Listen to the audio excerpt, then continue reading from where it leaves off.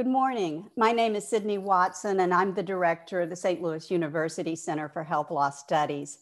And it is my pleasure to welcome you today to the 33, 33rd Annual Health Law Symposium. Uh, you can find the schedule online. Um, I'm welcoming you from St. Louis today. It is a beautiful, almost spring day. The sun is shining. Many of you who are joining us today are regulars at this event. You are our friends and alums, and this is a time each year where we get to say hello and catch up uh, on lives and careers and trials and tribulations. And for those of you, normally we would be on the 12th floor of the law school. We'd be in the courtroom with lots of sunshine and a view of the arch and a view of Busch Stadium.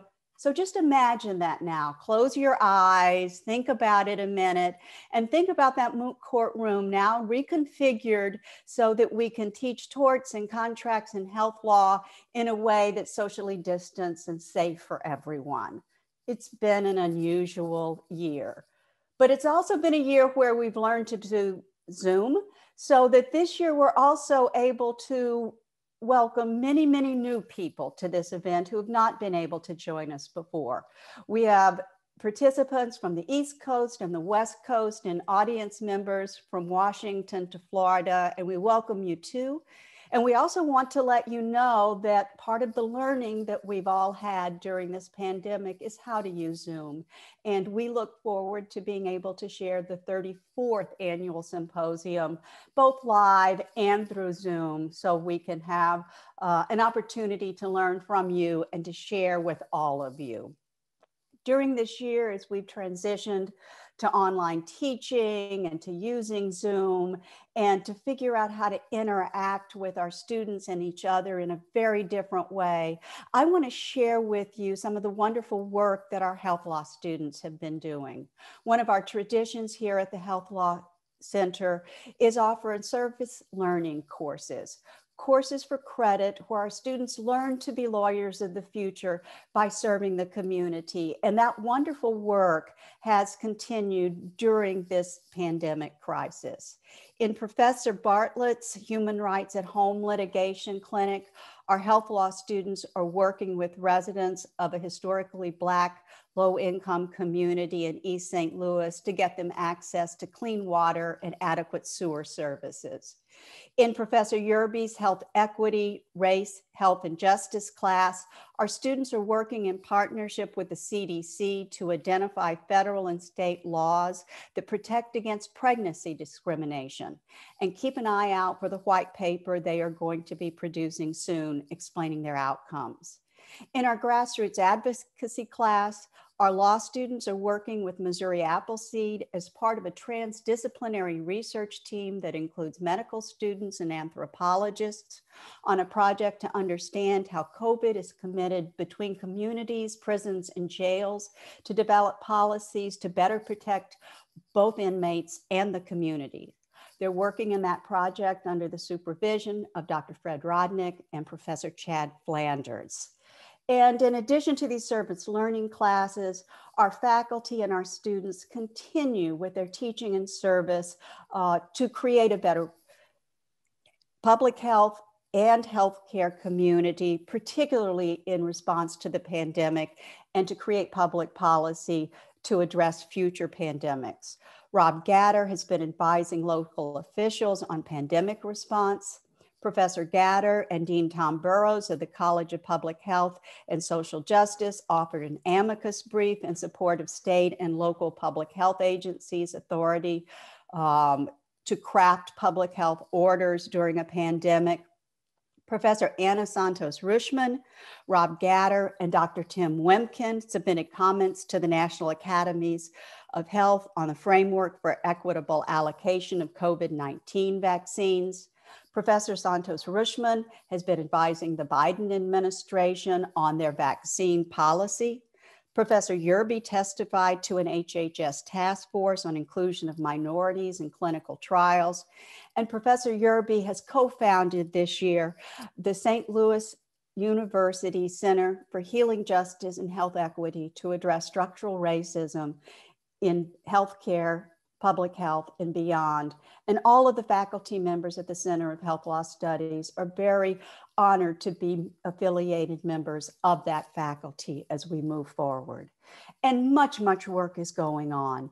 Professor Elizabeth Pendo, who has organized this program today, in addition to doing the work you are going to hear about today, has a project that it's first of its kind that has involved students with over 700 practicing physicians from multiple specialties and locations across the country to learn about their attitudes about patients and disabilities. The students are working to develop legal and policy recommendations to improve healthcare experiences and outcomes with people with disabilities based upon their findings, which are going to be published as a series of papers. Professor Pendo has also been speaking to medical associations, bioethics associations, uh, bar associations about the Americans with Disabilities Act and protections for people with disabilities, both as they relate to this pandemic and as we move forward and understand better the role of law. And finally, Dr. Heather Bednarek and I have been working with a team of law students and a team from Washington University on implementing Medicaid expansion in the state of Missouri, something that many of our law students have worked on uh, for years and years. And as this work goes on in DC, Mal Harkins continues to supervise and mentor our students who are working uh, throughout the government um, to craft federal law and through the the world of remote working, we have been able to expand our placements beyond St. Louis and DC to include uh, additional placements in Chicago, where Katie Koch is with Equip for Equality, and Nina Patel is working for HHS's Office of Health Resources and Services Administration. It's been a great year. I can tell you much more about the writing awards our students have done, the work that the journal students who are helping to co-sponsor today's symposium are doing to finish a special issue on COVID-19, health equity and justice. Uh, but it's time to move on to uh, what we are here for today. And I wanna turn it over now to the next set of speakers to introduce you to today's topic and to what we will be spending the day doing. Welcome, welcome to St. Louis, welcome to Zoom, welcome to the 33rd Symposium on Health Law. Thank you uh, Bioethics Research Center at Washington University School of Medicine. And it's really a pleasure to be here. Um, this symposium will present a, a, project that we've done collaboratively with the SLU Health Law pro program. And this is a project that's been going for about 10 years. Um, it started with collaborations with alumna Megan Vasher, Kelly Deneen, and now is continuing with Elizabeth Pendo, Professor Pendo. Uh, the project was inspired, sorry, in many ways by the fact that when the press published stories about ethical disasters, they often um, recommended more training. And, and I was deeply skeptical that more training was typically the answer to problems that, that really were criminal did did training address the root causes. So we did a study to try to understand the motives means and opportunity behind these cases of really egregious wrongdoing in medicine. Um, we received five years of funding from the national institutes of health and uh, really found very quickly that physicians who engaged in egregious wrongdoing offended for a very long time. They tended to harm very many people before they were removed. And it seemed like a real opportunity for improvement here. And so this project that you're going to hear about today is really the next step in that project. Um, it involves a collaboration again between our, our Bioethics Research Center and the Health Law Program at SLU, as well as the Federation of State Medical Boards, which we are so excited about. Um, the aim of the project is to help state medical boards deal with egregious wrongdoing much more effectively.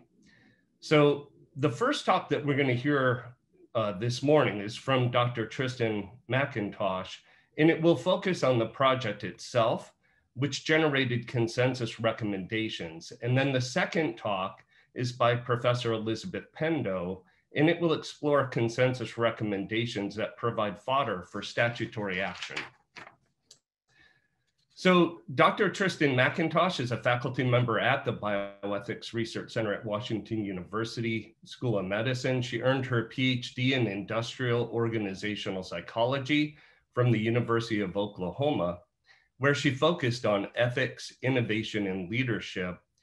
And she applies a lot of this in the, in the context of research. So she focuses on ethics, ethical culture in the research workplace, effective lab and management practices. Um, and now ethical issues that are emerging with the development and implementation of neurotechnologies by clinicians. She's serving as the lead investigator on this project, which was funded by the Greenwall Foundation. The second talk is by Professor Elizabeth Pendo, who's the Joseph Simeone Professor of Law at St. Louis University School of Law and a member of the Center for Health Law Studies and the William C. Wefel Center for Employment Law. Her legal and health policy research focuses on the impact of state and federal laws on healthcare experiences and outcomes of vulnerable patients, especially people with disabilities and chronic illnesses. She's published over 40 law review articles, books, and other publications on disability law and theory, health law policy, and bioethics. She also has extensive experience working with interview data and, and mapping state and um, uh, state laws. And this has been a crucial element of our current project. Uh, she also co-authored a report on the role of law and policy in achieving specific disability and health goals for healthy people 2020, the Law and Health Policy Project, a partnership between Health and Human Services, the CDC, which was funded by the Robert Wood Johnson Foundation. So um, really excited about this program. I think we have wonderful things to share and I will turn it over now to Dr. Tristan McIntosh. Thank you very much. Just give me a quick second to get my slides up and running.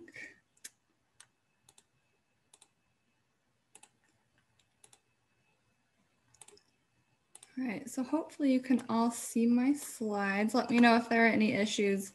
Um, but thank you, Jim, for that great introduction. I'm really excited to talk with all of you today about our project. It's sort of the culmination of this project that's identified recommendations state medical boards can use and adopt to better protect patients from egregious wrongdoing.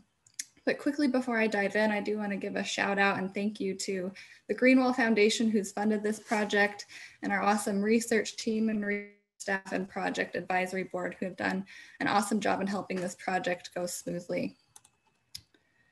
So just to give you a quick overview of what I'll be talking about, my talk is kind of broken up into three different parts. So first, I'll talk about the salience of egregious wrongdoing in medicine and our team's past research on the topic and then spend the remaining two thirds of the talk talking about our consensus panel overview and highlight some of the top recommendations that came out of those um, consensus uh, panel recommendations.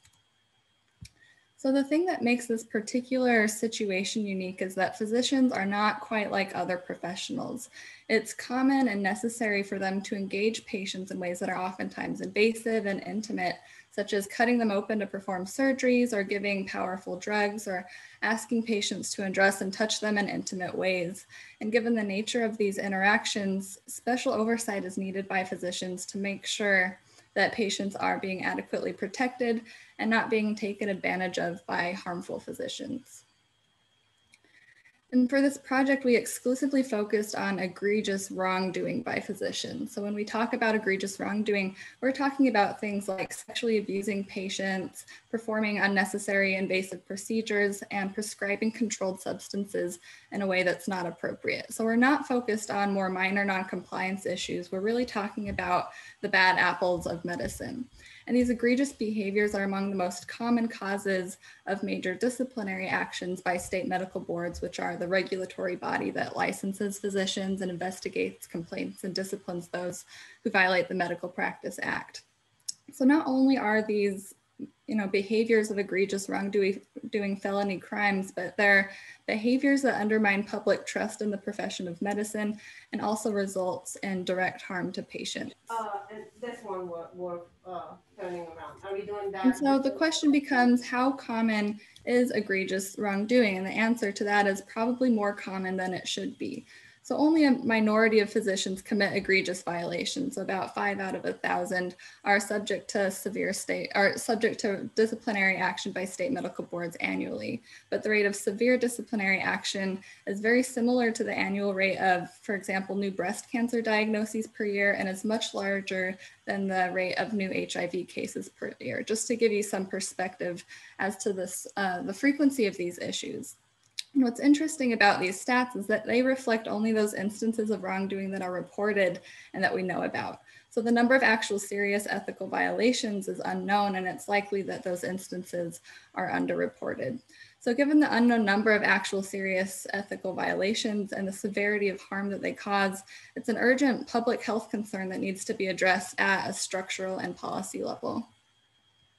And this is also problematic because egregious violations by physicians are seldom reported to state medical boards. And low reporting to boards can be due for a number of reasons. So patients may just lack the knowledge about the existence of state medical boards and their function. And they may also try to report instances to hospital administration that might try to keep it in-house to avoid bad press and sort of finding workarounds, especially for those uh, physicians who are high performers who bring in a lot of revenue. And to complicate matters further, there's six-fold variation by state in severe disciplinary actions taken by state medical boards. And that is, you know, some boards fail to take action against a physician's license and others do. And this variety can be due to many reasons. So oftentimes there are limitations imposed by state legislation and resources available to state medical boards for investigating physicians. Uh, there's some ambiguity about what actually constitutes a serious ethical violation. There are concerns of over scrutinization. So oftentimes people who are on state medical boards are physicians and there's concerns about over scrutinizing their peers. And another issue might be there, there are shortages of physicians in rural areas. So a board might be reluctant to revoke a physician's license in an area where there aren't as many physicians there to treat that portion of the population. So in light of these circumstances, as Jim alluded to in his opening talk, um, he examined cases, 280 cases of egregious wrongdoing in medicine, identified the major types of them and their causes. And part of this project involved convening a working group of experts to make recommendations about how to prevent egregious wrongdoing in medicine. And part of this recommendation includes establishing more uniform and transparent actions by state medical boards, which is exactly what this project sought to do. And part of this included the idea that we'd involve the Federation of State Medical Boards to support these practices and share them among state medical boards. And we would also publish examples of effective model statutes that could facilitate adoption of these best practices. So what we really did is sought practical solutions for addressing this problem of the variability in state medical board responses to egregious wrongdoing by physicians. So how did we do it? Uh, we did something used a technique called modified Delphi consensus panel, which is really just a fancy way of saying that we convened a group of experts. And in this case, our experts were state medical board members and executive staff. We convened them together to generate and evaluate solutions to this problem and come to a consensus as to which of these proposed solutions are the most important for addressing this problem. So we asked panelists to identify particularly effective or innovative practices, resources and provisions that boards need to encourage enable and to encourage and enable reporting of egregious wrongdoing, to investigate accused physicians, uh, to discipline physicians better, and to deter them from engaging in egregious wrongdoing in the first place but also to protect and empower patients and also increase transparency in this process altogether. So we really sought game changers that other state medical boards could adopt. And so to do this, we administered multiple online surveys or questionnaires to our panelists with the purpose of identifying recommendations that were agreed upon by the majority of our panelists. And it was especially important to us that we worked with members of state medical boards and their staff to seek solutions because that could help cultivate buy-in when we you know put forward these recommendations they would be um, on board for adopting them and so this whole process did it was uh, yielding a list of recommendations both legal and non-legal recommendations that can be used as a guide for boards who wish to improve their practices. And we had a fantastic lineup of panelists. So our project advisory board provided recommendations of people who would provide thoughtful insight and recommendations and be active participants in this process. And our goal was to recruit about 40 panelists that represented about 50% of the state medical boards that serve the US and its territories. And we had originally recruited 40, but two folks had to drop out for personal reasons, and we ended up with 38 panelists who participated in all four surveys. And we also had a good variety of state medical board roles included. So the majority of people on our panel uh, were physicians, but we also had good representation from executive members, legal counsel, and public members of state medical boards. And before participating in these surveys, we held an orientation webinar to give them an overview of our process and sort of share stories and background information to illustrate the project's significance. We also answered any questions and concerns our panelists had and shared the prompts with them that they would be asked in the surveys so they could understand what was being asked of them and so they could begin to critically think about what responses they would want to share in those surveys. And it also gave them time to go back and consult with their fellow state medical board members to come up with recommendations to share for this project. I'm going to walk you through the four different surveys that we asked panelists to complete. So in this first round, we sent an open-ended survey and asked participants or panelists to describe particularly innovative or effective practices, resources, or legal provisions that their board currently has, or those that their board currently lacks, but they felt is urgently needed. And after that, we received about 500 different open-ended responses and our team went through and consolidated many of them because of redundancies and then put a nice little list together that would be moved on to that second round survey. So in round two, for each individual recommendation, panelists were asked to do two things. So one of them was to indicate whether or not their state medical board had already adopted that recommendation. And then second, they were asked to rate the importance of each recommendation and they rated on a scale of one to nine. So one being not at all important, nine being extremely important. And for those recommendations that reached consensus, they did not move on to subsequent rounds. So it, once 75% or more of the panelists agreed that the recommendation was important, then we had sort of stopped it there at that point and that had considered to reach consensus. Now in round three, we presented those no consensus items and the percentage of panelists who rated each recommendation as low, medium, or high. And then we asked panelists to re-rate and provide a rationale for those no consensus recommendations. And we also asked them to describe barriers to implementing some of those low adoption recommendations to identify and provide a little bit of contextual information. And then this fourth and final round, again, we only presented those recommendations that received uh, no consensus in the subsequent rounds. And we presented panelists with the rationales of their peers for low, medium, and high importance ratings. And we asked our panelists to really take time and consider the perspectives of their fellow peers who were on the panel, and then finally provide uh, a final rating of importance. And what this did was yield a list of 63 different recommendations. Uh, 51 of those had reached strong consensus. So 75% or more of our panelists agreed, yes, these 51 recommendations are super important to addressing matters of egregious wrongdoing and variability in state medical board practices. Five of those recommendations were moderate, so they didn't quite reach that threshold of 75%, but still good sized consensus of the group had agreed that those recommendations were important. And then seven of them had reached weak consensus. And so we, we didn't pursue those uh, quite as much as those who that reached strong and moderate consensus. And so our research team clustered those 56 recommendations that reached strong and moderate consensus into these five different categories. And in just a minute, I'll go through specific recommendations, but I wanted to give you an overview really quickly um, about those five different clusters so you can get an idea of the types of recommendations that we, um, we got from panelists. So the first one is dealing with board website outreach and education. So sort of having an improved public interface and improving the board websites about its purpose and um, what it does. The second recommendation had to do with internal board operations and investigations.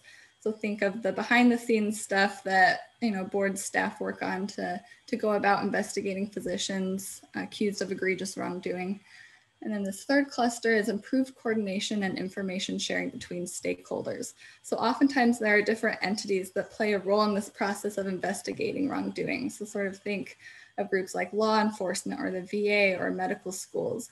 And you know, having that increased information transparency and sharing allows for greater mobilization of these groups' efforts and also improves efficiency in investigating uh, wrongdoing.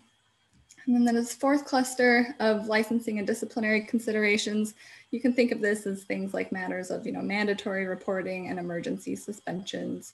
And then this fifth and final cluster had to do with board composition or the makeup of the board. So I want to quickly orient you to this first cluster of recommendations of board composition and characteristics and to this table really quickly. So you'll see on the left-hand column there, that's the actual recommendation itself. And then the second column indicates the percentage of panelists who rated that recommendation as highly important. So you can see these were all rated uh, very highly important by all of our panelists. And in that third column there, you can see at what round of consensus that particular recommendation was reached. So you can see in this case, all of them had reached consensus at round two, where all of our panelists had agreed right off the bat. These are all important to addressing uh, the problems posed for the panel. And this fourth column here is the percentage of panelists who had reported adopting that recommendation already. And one other thing that I'd like to draw your attention to is those items in bold. So those are recommendations that our team felt were likely to have the great magnitude of impact because there's agreement about the recommendation's importance, but fewer state medical boards have already adopted those recommendations. So just to highlight a few specific ones. So if you look at recommendations one and three here, they really get at the idea that boards need adequate staffing and resources, both from just a general administrative standpoint, but also for conducting thorough investigations. So if boards are understaffed, they're not going to be able to do these things well and in a timely manner. And if you look at recommendations two, four, and six, they get at this idea that the board needs to have adequate racial and gender diversity, especially for teams investigating cases of sexual misconduct. So if you think about the type of people that are most likely to be you know, targeted for egregious wrongdoing, it's oftentimes women and people of color. And so it's good to have those groups represented in these different board processes and investigations. Moving on to the second cluster of internal board operations and investigations, just to highlight a few. So the second recommendation suggests creating a screening committee to help prioritize complaints that require urgent action and investigation. And sort of relatedly, recommendation three is identifying what type of misconduct triggers those special procedures like an emergency suspension of a physician's license to prevent further harm to patients. And then I'm going to quickly highlight this fourth recommendation here. So it didn't quite reach that threshold of 75% or more, but we thought it was still important. So the NPDB is the National Practitioners Data Bank, which is an online repository of reports about physician wrongdoing. Um, when state medical boards report incidents to the NPDB, there's an option to report using sort of a nondescript other or NA category. And this is not helpful, right? Because it doesn't provide details about the wrongdoing being done, and it can result in an underplaying of wrongdoing in a certain way. And so by being more explicit and transparent about the nature of the wrongdoing, that can help improve transparency about the process and the nature of the wrongdoing itself. And for this third cluster of improved coordination and information sharing between stakeholders, I want to highlight recommendations one and three. Um, so think about, you know, medical schools and residency programs reporting egregious wrongdoing and disciplinary complaints as a condition to licensure eligibility. So as the saying goes, you know, the best predictor of future behavior is past behavior. So knowing about past bad behavior of trainee physicians, that can help state medical boards be proactive in identifying red flags.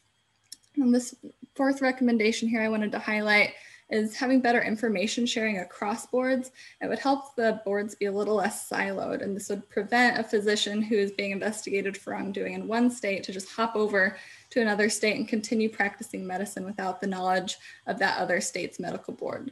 So if boards are more transparent in the information they share, um, they can more proactively curb egregious behavior. And then this fourth cluster of licensing and disciplinary considerations. So this first recommendation gets at the idea of just raising certain acts to a felony level, and this subjects them to mandatory reporting to state medical boards.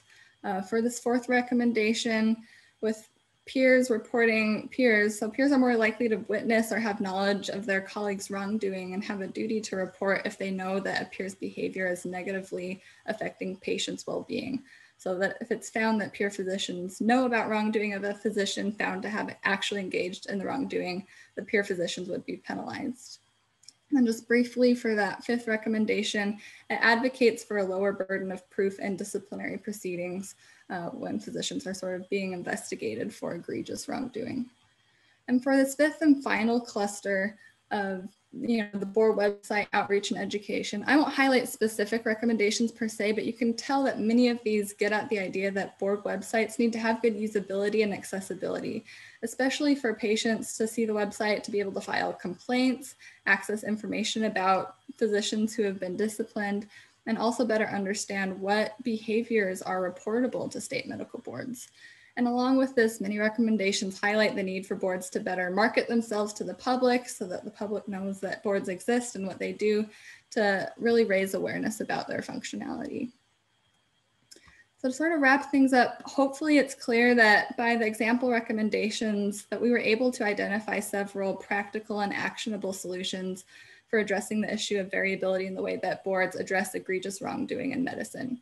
And we hope that boards will adopt at least some of these recommendations to better protect patients from harmful physicians and support more transparent actions and processes by boards.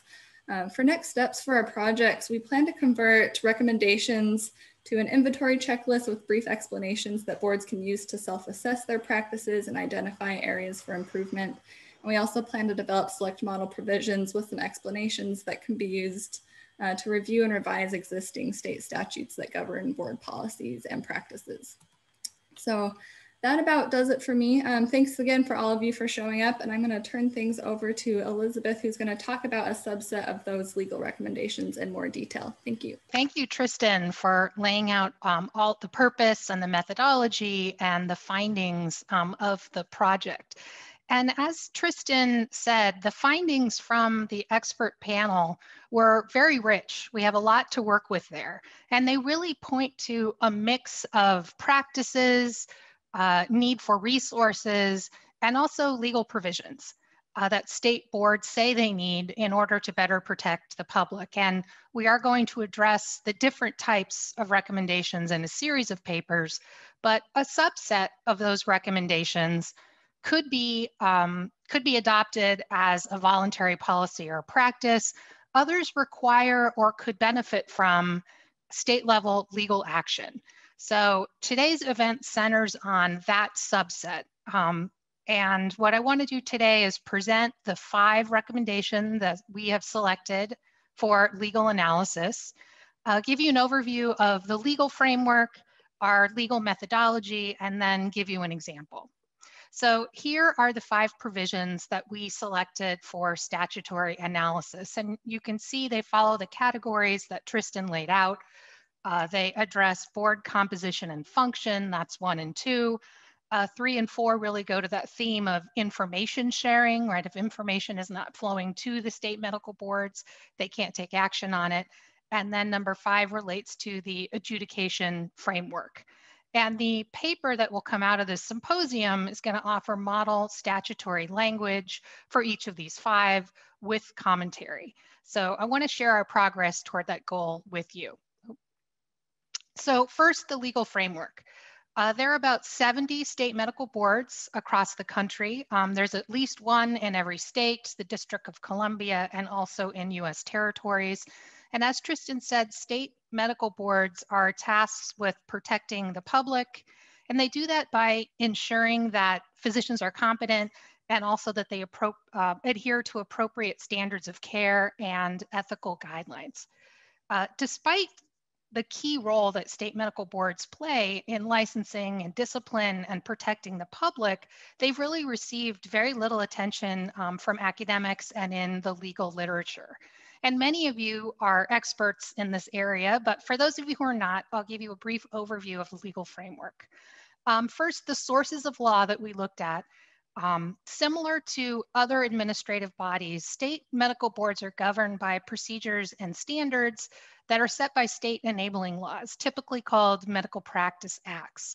Uh, they're also governed by state administrative laws and in some cases relevant judicial decisions. So those were the sources of law that we looked to to develop these model provisions and commentary.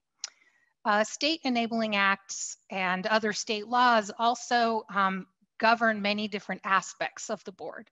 For example, the size and the composition of state boards. State boards uh, range quite a bit in size from as large as 21 in Connecticut or Washington to as small as five in Vermont and New Mexico. Board members are typically volunteer physicians and members of the public who are um, in most cases appointed by the governor of the state. They can often be nominated or suggested by current board members or state medical organizations. Uh, composition requirements can include the size of the board, the mix of medical specialties, uh, the number of public members, geographic diversity, and other sorts of requirements. The state laws also authorize boards to engage in their core functions, right, to issue licenses for the practice of medicine and to investigate complaints and to discipline physicians who engage in professional misconduct. And in almost all states, boards can also um, formulate and adopt policies and rules and regulations that relate to medical practice. And law also plays a role in the theme that Tristan mentioned of information sharing. The law plays a role in ensuring that the board receives the information that it needs. For example, discipline is largely a complaint driven process and the majority of complaints are made by patients um, and their families. But boards also receive information from other boards, from hospitals and healthcare organizations, from law enforcement, from other government agencies, um, et cetera. And law can require that type of reporting right? States commonly impose duties to report on certain actors, but we know that underreporting remains a serious problem. And later today, Professor Chiarello is gonna shed light on the behavior of organizations that could impact decisions to report and how reporting happens. We also know that over-reliance um, on public reporting is a problem. And that's due, in fact, to lack of awareness about state medical boards. Um, as Tristan mentioned, the number of serious ethical violations is unknown. But here's some information from a 2018 survey done by Harris Poll that was commissioned by the Federation of State Medical Boards. Um, first, it found that more than half, like 51% of Americans did not know that state medical boards are responsible for physician licensing and discipline. Of the group that was surveyed, um, nearly one in five or 18% reported an interaction with a physician who they believed was acting unethically, unprofessionally, or providing substandard care. Of that 18%, only one in three reported that uh, interaction at all right, to any entity or person. And of those that reported, only one in three of those notified the state medical board.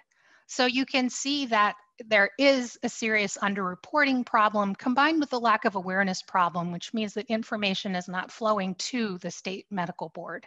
And prior studies have made some similar findings. In terms of the disciplinary process, this is where boards spend the majority of their time and resources. This will look quite familiar to lawyers uh, in the audience. And although there's some variation among state medical boards and laws, this is really an overview of the steps in the disciplinary process the Federation of State Medical Board has excellent resources at their website if you want more detail on this.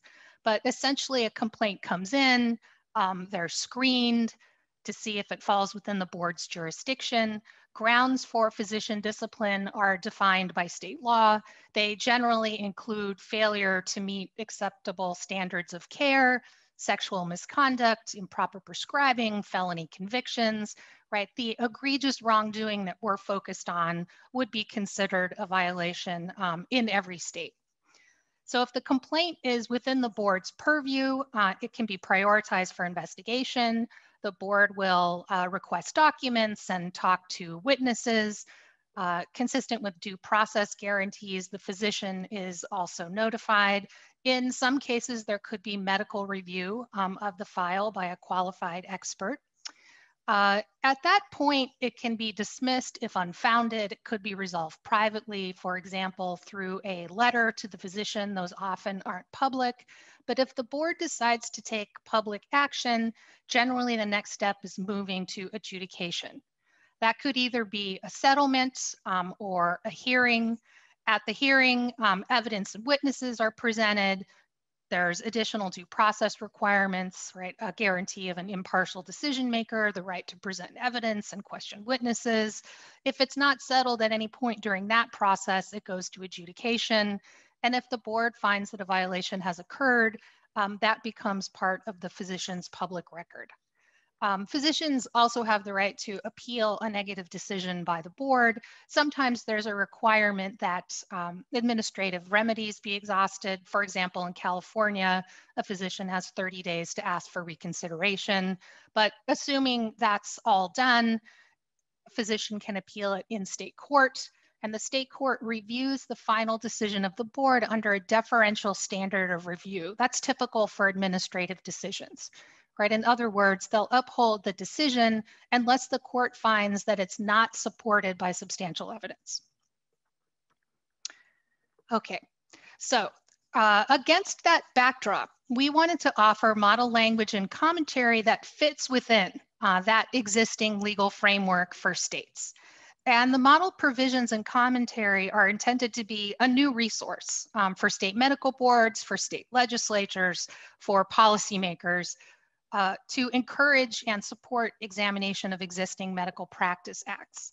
And what we're doing is bringing together the elements that you see listed here, the expert informed findings of the project, the results of our legal mapping, um, and legal and policy analysis, which ultimately is going to include um, the expert insights of today's speakers as well.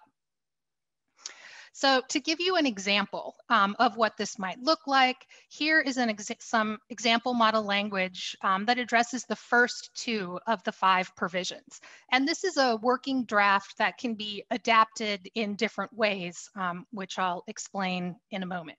Uh, it's it, it, reflects existing approaches to a range of demographic factors, uh, to qualifying language, and reference to the demographic composition of the state.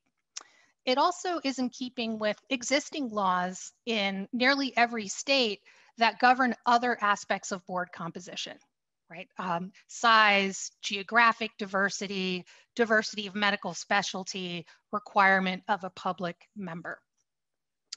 So how we reached this were state laws relevant to each of the five items were collected and coded using uh, legal surveillance standards. And this process was supported by an excellent team of law students, Jesse Becker, Darian Diepholz, Julia McFarland, and Maddie Quass. And it involved a complete survey of state laws in place uh, that were applicable to state medical boards that addressed each of the items. We're still uh, completing some of the coding process for some of the provisions, but I can show you some of our preliminary results. So here, for example, is uh, the legal mapping results for those first two provisions on diversity. And the map on the left shows the eight states that have statutory language that applies to boards that addresses in some way gender diversity. And I'll explain that in a moment.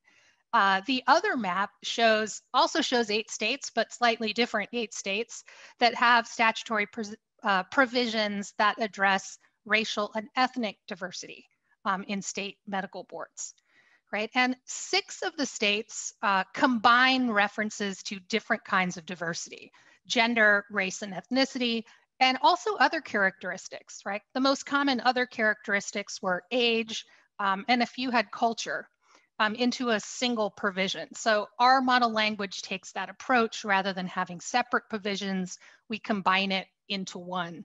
Uh, this would allow a state with no such requirements to consider adopting that language or a state that had some but not all requirements to amend their language. Uh, but of course, not all states address them together. North Dakota and Iowa address gender, but not race or ethnicity.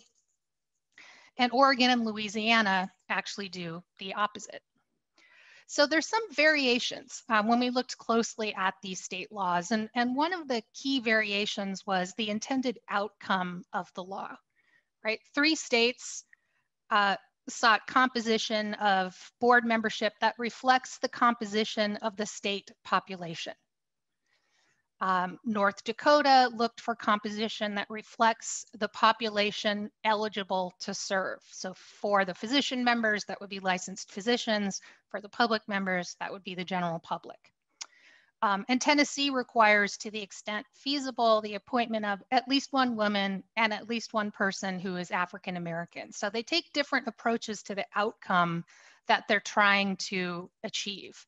And we, our model language called for membership that reasonably reflects the diversity of the state population. The difference between those first two approaches really points to the fact that um, given the well-documented lack of diversity in medicine, the demographics of the general population might be different and more diverse than the demographics of licensed physicians. Uh, but based on some surveys of licensed physicians, the diversity requirements uh, reflected in the model language are feasible. And we also used qualifying language to the extent possible or reasonably reflect. Um, there's also some different, there's also a few states that do not frame it in terms of outcome, but instead impose some requirements to the process right? You see, uh, Missouri requires affirmative steps to appoint minority groups.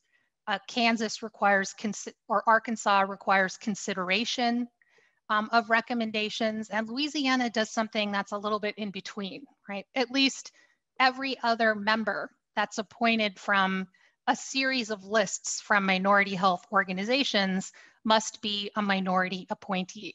So all of these impose some requirements on the process, but they don't actually measure it in terms of outcome of the composition of the entire board. So after looking at the approach of existing states through that legal mapping process to see what we can learn um, about different approaches, we looked at the literature um, around the issue. And there are really many reasons why boards might want to support increased gender, racial and ethnic, and other types of diversity in state board membership, right? Equality of opportunity and representation issues being chief among them. But in keeping with the theme of this project, we're really focusing on the impact of diversity uh, on the board's ability to address egregious wrongdoing by physicians. So first of all, the, these were rated as highly important by our expert panel, and that was echoed by, by our advisory committee um, as well. I think diverse representation on boards, um, there's also professional organizations and experts have called for diversity in state board membership to improve board function right? In May 2020, the FSMB adopted a new report and recommendation uh, from the work group on physician sexual misconduct that addresses diversity in terms of board function, right? In a section entitled implicit bias, the report states that diverse representation on state medical boards in terms of gender, age, and ethnicity is important for ensuring balanced discussion and decisions. And we are very lucky to have Dr. Pat King with us today. Dr. King led that work group and is will be speaking in the next session. And I've also learned from the work of uh, two other speakers, Professor Kelly Dineen and Jennifer Oliva, about different types of bias that often frame cultural beliefs about wrongful prescribing. So diversity and the ability to acknowledge and address implicit bias is key. And the positive impact of diversity on the function of groups is also supported by research in other fields. You see in that third bullet point, I've pulled a couple of specifics from different studies that were summarized in a Harvard Business Review article, Why Diverse Teams Are Smarter. And a growing number of studies have also linked gender diverse boards, um, corporate boards in particular, with better group decision making and governance. And we're going to hear more about that um, from Professors Lissa Broome and John Conley later today, who are experts in that area. And I think uh, attention should also be paid to the intersection of different types of diversity in state medical board membership. Uh, for example, in Neely's 2019 article in that last bullet point, beyond the numbers, substantive gender diversity in boardrooms, um, on corp diversity in corporate governance, right? That really suggests that more attention needs to be paid to substantive gender diversity, meaning an opportunity to make a real impact rather than simply minimum representation. And how that might be relevant for state medical boards is most states require that boards include one or more public members. Um, however, the public members on the boards have really a wide range of authority and influence. Some may not be voting members or may not play a robust role in disciplinary functions. So that suggests that if individuals are appointed as public members and also serve as the members that meet the diversity requirements, then the benefits of diversity for group function may not be met. So in closing, I will say that our model provisions and commentary, um, as well as the other papers that Tristan mentioned, are truly works in progress at this point. We are really grateful for the chance to share our work today and to benefit from the wisdom of the speakers and from everyone else here today. And we are looking forward to your comments, questions, and suggestions. Thank you.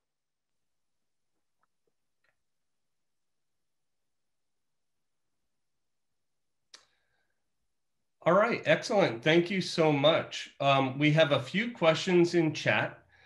Uh, one of the first ones we received uh, started with some questions about the prior study of 280 cases, and I sent through the chat um, a list of the key references to articles from that study. I think that's the best way to answer that question. But it continued and said, I wonder if we should consider having some sort of mental fitness or character fitness to practice medicine. And I definitely think the practices during medical school should be reviewed prior to licensure. What are your thoughts on this? Elizabeth, did you want to start or do you want me to take this? I need to think about it for a second. Yeah. oh, well, other um, boards that license other professions in many states actually do have a character and fitness examination. For example, that's required um, for a license to practice law. And there it's, you know, the criminal background check and other kinds of questions about conduct during law school. Um, I think the question about behavior during medical school is really an important one because there were actually at least two, possibly three recommendations that really went to this issue of boards may need to know um, about serious misconduct in medical school. The reason we didn't select that for a statutory analysis, though, is that's a really good example of a type of recommendation that could be better implemented through a mechanism other than a state statute. For example, a board could simply require applicants to report any misconduct um, during medical school and to sign a waiver allowing the board to verify that information with the medical school, right? That would be a way to obtain that information. And that is in fact how it's done um, for licensing of lawyers. Tristan, do you have something you wanna add? No, I think that that definitely does it. Yeah, and just considering, you know, non-legal approaches to addressing some of these recommendations, I think is another way to go about um, doing it. So yeah, I agree. So another question we received is, are, are, there any cultural factors identified that lead people to not reporting uh, something other than, you know, lack of knowledge about the role of state medical boards? What are your thoughts on that? One thing that came to mind for me, I was just checking out this question on chat. I think many patients don't know what behaviors are considered bad or reportable. So they don't know about, you know, how ungloved examinations are a bad thing and they don't know to go about reporting that. So I think it's just a lack of education about certain behaviors that aren't um, aren't good by physicians. I think that's part of uh, a cultural problem there. It's just an education issue. Elizabeth, did you have other thoughts? Yeah, I, there's a lot of literature as to why patients don't sue doctors um, for uh, breaches of standard of care, which is not exactly the same thing, but I think some of those insights are really relevant here. Um, patients can be really concerned about disrupting a relationship that they rely on for care. They may not feel that they have a lot of other alternatives for care um, if they disrupt that relationship. Um, as Tristan mentioned, they may not, sometimes it's very clear from a patient perspective um, when they might think an ethical violation has occurred, but in other cases, it may not be apparent to the patient. So there's a knowledge issue, then there's an awareness issue of where might you report. Um, and then there's also what, how will your care or relationships be disrupted if you report? And of course, if we're talking about sexual violations, then all of the literature on why primarily women um, are hesitant to report um, sexual violations also comes into play. All right, thank you. Uh, another question that a couple of people have posed is the question of representation from the LGBTQ community on boards, particularly considering that um, members of the LGBTQ community may be targeted more frequently for abuse.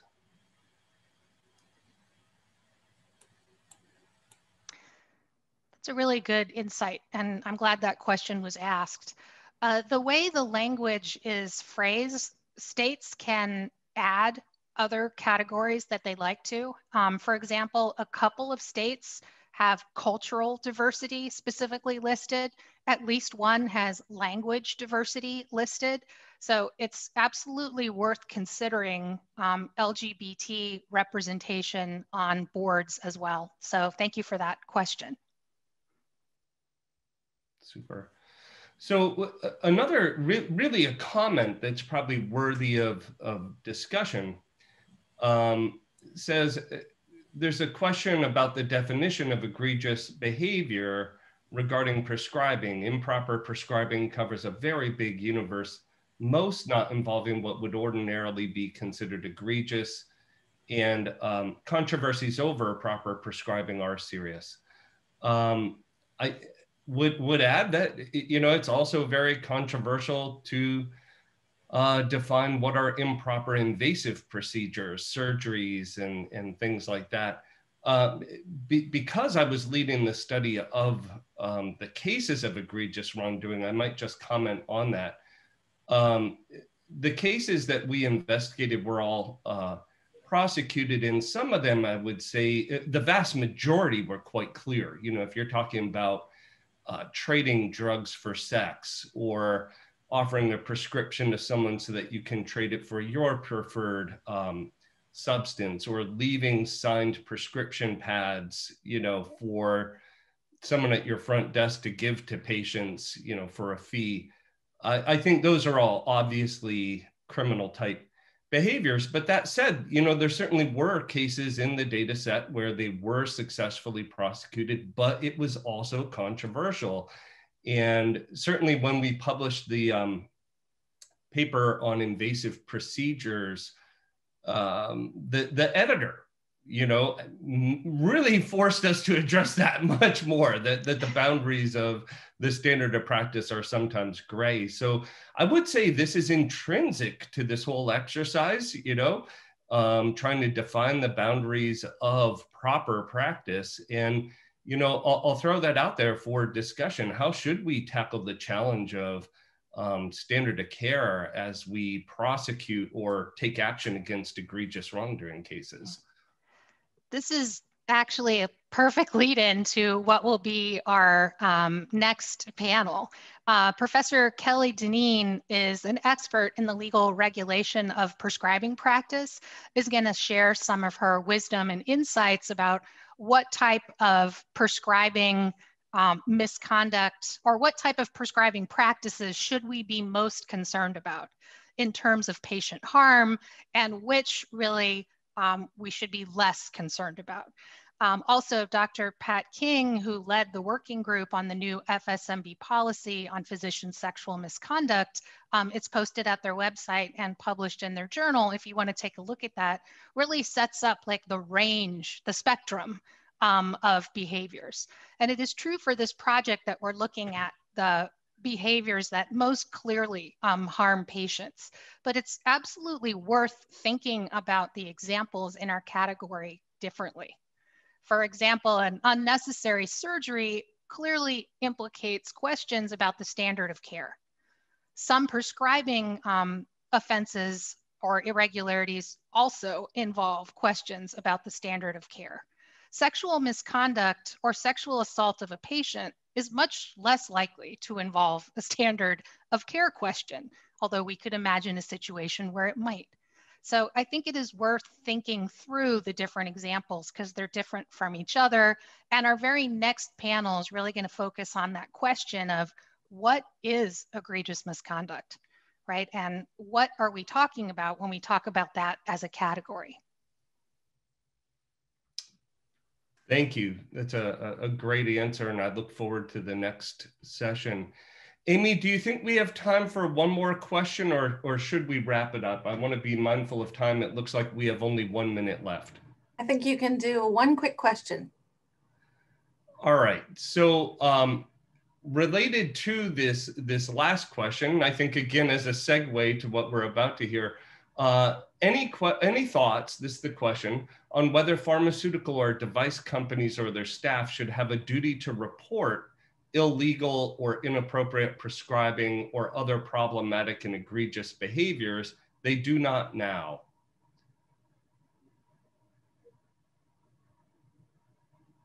I think it would be a good idea personally. I don't know if Elizabeth, if you have additional thoughts on this, but yeah, they they have firsthand knowledge about that type of behavior and sort of having that transparency, I think would help curb some uh, abuse or egregious wrongdoing. What do you think?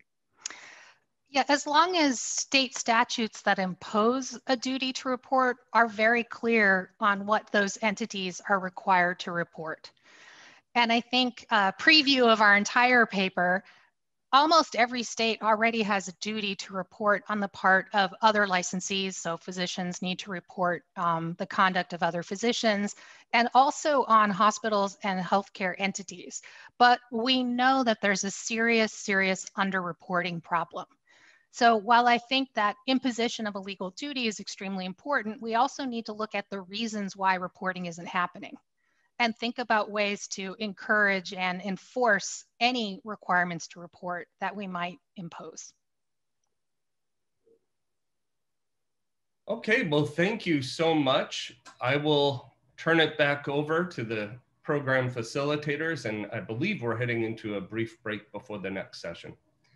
Thank you so much. Thank you. Okay, well, welcome back. This is our second panel of the day. Um, and we have two wonderful panelists who are going to address defining egregious misconduct. Uh, first up will be uh, Dr. Patricia King, followed by uh, Dr. Kelly Dineen, and I have a brief introduction for each of them. So let me start there. Uh, well, Dr. Uh, is a past chair of the Federation of State Medical Boards Board of Directors and is a board member of the FSMB Foundation. She was a member of the Vermont Board of Medical Practice from 2003 to 2015, serving as its chair from 2010 to 2014. Dr. King was the chair of FSMB's work group on physician sexual misconduct and chair of FSMB's work group on education about medical regulation for students and residents. She was a contributor to the ABMS NB, ME proceedings paper on advancing assessment of professionalism and continuing certification. Um, and Dr. King is a member and a past chair of the United States Medical Licensing Exam Composite Committee. She's also served on USMLE and NBME test material development committees. Additional past services included the FSMB's State Board Advisory Group to the USMLE, the Interstate Medical Licensing Compact Task Force, and uh, the FSMB Duty to Report Symposium, FSMB representative to the INCUS conference, conference, and editorial committee for the Journal of Medical Regulation. Dr. King is also a professor of medicine at the University of Vermont Larner College of Medicine, where she is active in medical school curriculum development and medical student teaching. She, uh, and uh, she has a practice in primary care internal medicine at the University of Vermont uh, Medical Group. So uh, Dr. King earned her PhD in uh, physiology from Brown University and her MD from the University of Vermont College of Medicine. She's board certified by the American Board of Internal Medicine. We're so happy to have her uh, with us. Uh, additionally, and we also have uh, Professor Kelly Dineen. Uh, Kelly is somebody who we all know well here at St. Louis University. She uh, earned her JD with a health law concentration as well as her PhD with distinction in uh, healthcare ethics at St. Louis University and also was a member of our faculty and law school administration for uh, quite a while before leaving to direct the uh, health law program at Creighton University's School of Law, where she is also an associate professor. There, she teaches uh, current topics in public health law, health law and policy, bioethics, and torts. Uh, professor Dineen also has a secondary appointment as Professor of Medical Humanities at Creighton University's School of Medicine. Uh, she has a background in nursing, including working with patients with chronic persistent pain. Dr. Dineen practiced in uh, the health law practice group at uh, Husch Blackwell after law school. And later, um, uh, she also held the academic positions at, at St. Louis University. Dr. Dineen is served by invitation for both the American Bar Association and the American Health Lawyers Association working groups on opioid on the opioid crisis and is the current co-chair of the American Bar Association's Opioid Crisis Task Force and organizer of the upcoming meeting on the opioid crisis co-sponsored by the American Bar Association, the American Medical Association, and the American Society of Addiction Medicine. She also serves on the American Society of Addiction Medicine's Practice Management and Regulatory Affairs Committee. She's an expert on health law, ethics, and policy, and, and researches and writes on issues related to public health policy, pandemic ethics, drug use, and health inequities and discrimination. Her recent work has focused on opioid prescribing and the impact of decision making by policymakers and healthcare providers on people with substance use disorders, chronic pain, and mental illness. She is the co-editor and author of several chapters in Prescription Drug Diversion and Pain, History, Policy, and Treatment, which was published by Oxford University Press. She is also a sought-after speaker uh, with the, by media, and her work has been widely published. Again, we're so pleased to have both these expert experts with us, uh, and I will allow the panelists to take it away. Um, thank you, Ron, for the introduction, and thank you um, so much for inviting me. As Ron said, I'm Pat King. I am a past chair of the Federation um, of State Medical Boards Board of Directors and was the chair of the work group on sexual misconduct. Um, I am sitting in Burlington, Vermont, so it is not as warm as St. Louis, but I hope that your warm weather will soon be coming our way because we are ready to get rid of the snow, at least I am. Um, I am not a spring skier, so I would just as soon have green grass on the ground. Um, so, so to begin, um, what I'd like to do today is um, share with you um, a lot of the findings and recommendations that came out of our work group. Um, and I can begin by saying that the, the work group um, was started in my, um, in my year as chair. Um, and it really um, began in the wake of a lot of really egregious, large and very public um, sexual misconduct. Um, it both, both with Larry Nassar and Richard Strauss at Ohio State, but also in California, in New York, um, in many places around the country. And I have to add to that that it also, we started the work group in the wake of the Atlanta Journal Constitution um, series of articles on doctors and sexual abuse that actually um, first came out in July of, I think June or July of 2016. And the article was quite critical of state boards in general and some boards in particular. Um, and so these things, together with growing concern of our state boards, really um, made it clear that we needed to readdress our policy. So we did have a policy. The Federation did, um, did an, an, evaluation and formed a work group in 2006. Um, and they, um, they produced some guidelines um, entitled Addressing Sexual Boundaries, and that was passed by the House of Delegates in 2006. And initially we thought, well, we can start with this and just do some revisions and updates. But I can say that as we worked through this um, issue and had more discussion and listened more to, to many groups and people that at, by the end of the um, process, we had completely changed and really didn't use much at all from the 2006 policy. It wasn't that it wasn't good then or even now, but it just really didn't um, give the, the best guidelines that we thought were, were necessary. so we started just to give you a little bit about our approach. Um, and I will say, I have to also, as I begin, thank the both WashU and St. Louis University for their work on the Greenwall project. It has just been tremendous and really has complemented what we've done. And a lot of what I will go over today has maybe already been stated by Tristan or Elizabeth. Um, so hopefully it won't be too redundant, but I'm so, so happy and so pleased that our, our work is really being synergistic. So our approach as theirs was very grassroots. We um, really wanted to speak with the state boards and see what the problems were for, their, for them and what they needed.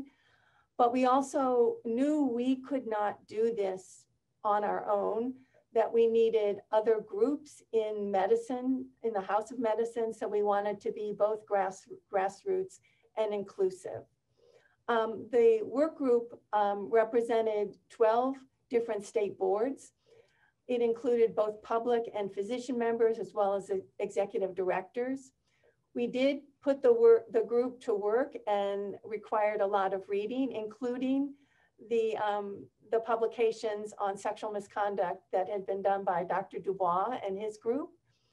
So that was part of the background that we set um, so that everyone could, could come together with some common knowledge as well as um, the perspective of their own state board.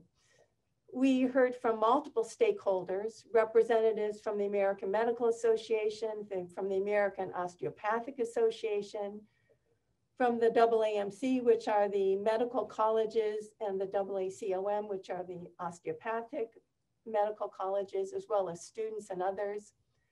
I think most impactful, we heard from survivors directly. We invited them to our meeting and heard about their experience. And um, it was really very impactful on how we looked at this problem and what, and what needed to be done.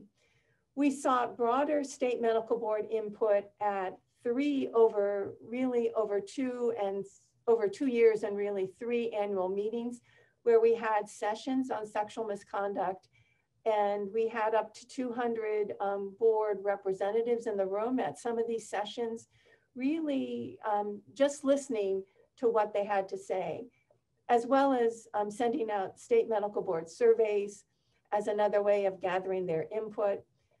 We had representation and input from international medical regulators, primarily from Canada and New Zealand, and then heard from subject experts, both in ethics and remediation. And these two people were on our work group.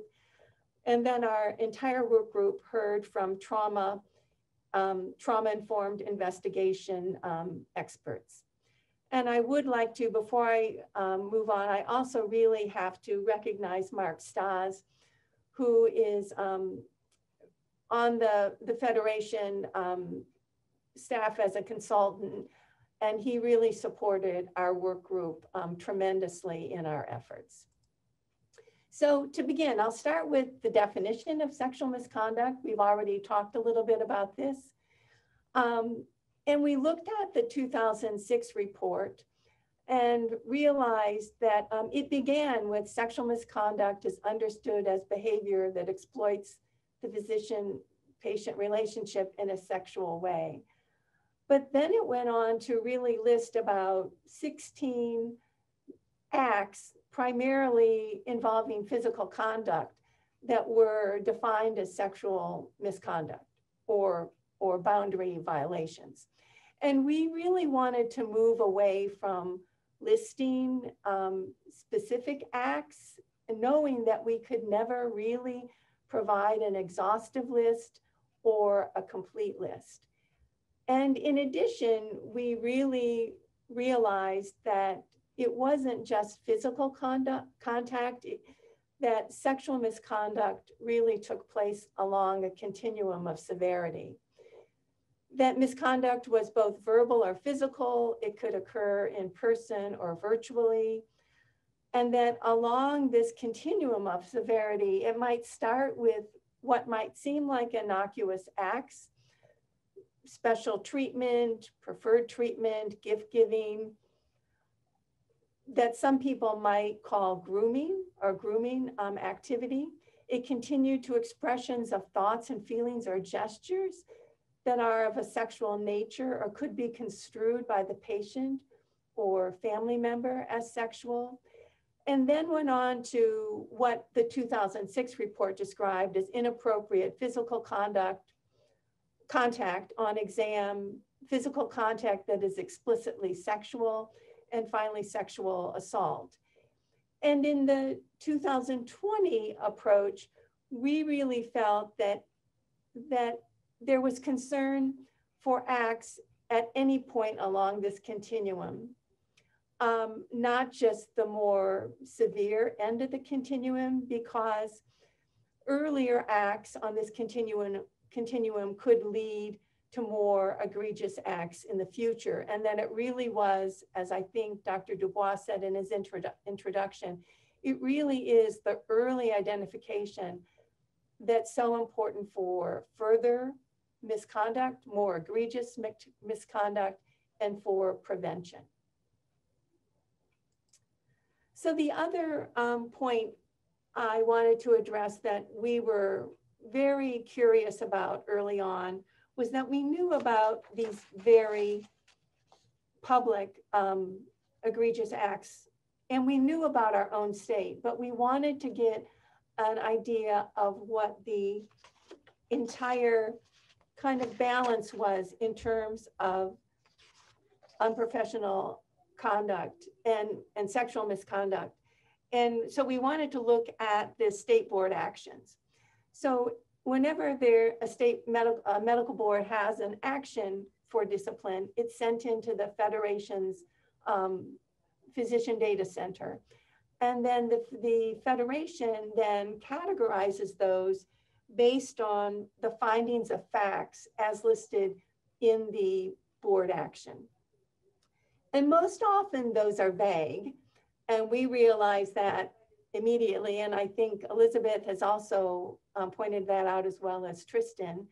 Um, and so the board actions are evaluated through the narrative to see if there's more information that can be identified to more precisely categorize them. And that is sometimes successful and, and sometimes not. But just as an example, I, I have these data shown here, and these are um, from 2019, but they were similar in 2018 and 17. These are the State Medical Board disciplinary actions that by the coding were associated with professionalism or some type of unprofessional conduct. Um, this, this number totaled um, it's actually 1,638 actions and represents about 20% of the total board actions for um, the year, which is usually around 8,500 board actions that are sent in. And as you can see, um, most of these are just listed as unprofessional conduct. And really just by reading the narrative, couldn't be any further delineated. There are some that are more specific, um, as you can see listed, sexual misconduct, sexual boundaries, um, but many others that are vague, morally unfit to practice, um, unethical conduct, conduct unbecoming a physician. So they're not really specific. And the problem is they really do not provide information that gives transparency to the public, that warns the public, and that provides public protection. So this was a significant concern. And, and actually, when we looked at the Larry Nassar board actions that came in, I think over 18 months, there were four or five board actions from the Michigan um, State Board. And it really wasn't until the last board action when I think he had been found guilty of sexual assault that the board action, action actually stated sexual misconduct. So obviously transparency was a big issue for our work group and was one of our key recommendations. And besides looking at the data that we had, we also read this in the, in, in the AJC article, um, the Atlanta Journal Constitution, and we heard this from our survivors. So we felt that state boards should ensure that sufficient information is publicly available to justify regulatory decisions and to provide sufficient rationale to support them. This would require clear coding processes, accurate descriptions of behaviors underlying decision, consistent terminology between states. And this has been something that is, it seems like it should be easy, but we have 50 states and more territories and 70 state medical boards. Um, so it's, it's not easy to always generate consistency between boards, but our goal was to maximize reach and impact for the public. Now, the other um, issue we addressed, and this was al already brought up by Elizabeth, um, is that the state boards, um, their investigations are complaint driven. So um, we hear mostly from patients and family members. State boards can pick up on news items and they can generate their own case based on that. Um, but in general, most complaints come from patients or, um, or family members. And the state boards felt like they really weren't hearing enough. They weren't really hearing the complaints. Our survivors told us that um, people were not complaining for a lot of different reasons, many of which Elizabeth and Tristan already pointed out, um, that the public doesn't know how to make a complaint. Um, that was found in the in the Harris poll that the that the Federation did that Elizabeth presented. Um, very few people um, know how to find information about physicians and only half of people really even know what a state board is. But in addition, the survivors also um, told us, the survivors of sexual misconduct, that they really struggled because they felt guilty. They weren't really sure what happened. They weren't really sure if something was wrong or right. And there was a certain amount of shame or guilt that really prevented, prevents survivors from reporting. So we really also focused on the need to support people when they come forward for complaints, that there should be frequent communication with complainants about the complaint and about the investigative process so they understand that, so they understand how important it is to complain that we address these complaints as quickly as possible. And if any of you know state boards, things don't always move quickly, but these should be moved as quickly as possible. And then we really should have people specially trained um, to help navigate complainants through the process and, and listen to them and, and their needs. So along with this, we have um, reporting from family and, and patients on complaints. But also, as Elizabeth has pointed out, we knew, the state boards knew that there were other sources of reporting that we weren't hearing from, primarily hospitals or other employee institutions, as well as other healthcare providers, including physician colleagues. So we had a series of, of recommendations, um, many of which echo what Elizabeth has said, the ability to levy fines against institutions for failing to report. We really felt that the results of peer review processes, which are often protected, um, but we felt should be shared with state boards when sexual misconduct is involved. We thought we really recommended that hospitals should be required to report to state boards where employed physicians have been dismissed or forced to resign due to concerns related to sexual misconduct. And then for physicians and other um, colleagues or healthcare providers, we really felt that they have a duty to report, that if they report in good faith, they should be pr protected from retaliation. And um, if they fail to report, that sh they should be liable for sanction. Um, the other area that we addressed um, really dealt much more with board function and it was investigations and then I'll talk about discipline. So we, as I said, we have um, many boards across the country and we have very differing laws on investigation as well as discipline. But we felt that one of the topics of discussion was what to do when an, a, a physician is being investigated with good findings of and reasonable probability that they've engaged in sexual misconduct. And the work group felt strongly that the state board should be able to impose interim terms or limitations and intervene to ensure the protection of the patient and the public during the ongoing investigation.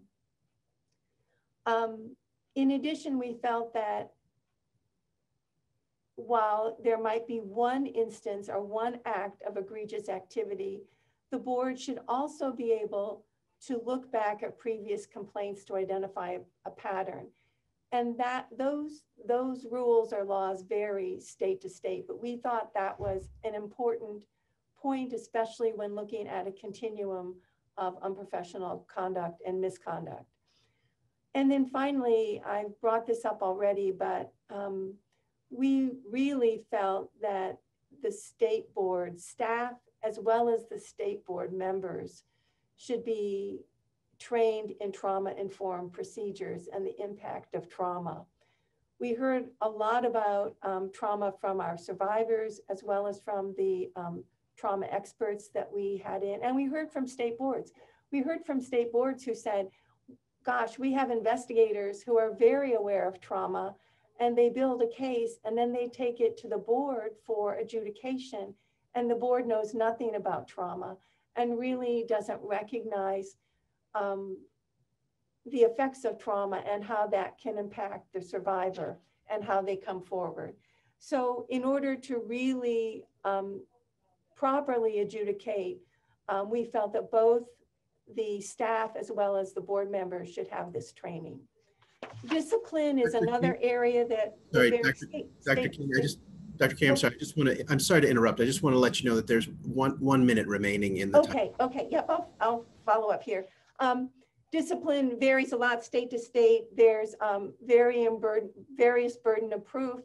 And, um, but we did feel that um, people should be able to have their license revoked for um, an egregious act and for um, repeated lesser acts. Um, education, we've talked a lot about education for professionals as well as for patients. And I think both Elizabeth and Tristan have pointed on that. Culture is a big area. And I will add to what Elizabeth has said, um, public members, we worked so hard on trying to raise the presence of public members on state boards because they are so important and should have full participation and membership. And then finally, I just want to point out um, implementation by state medical boards. Since we um, approved our policy and even before, many state boards have started to make changes.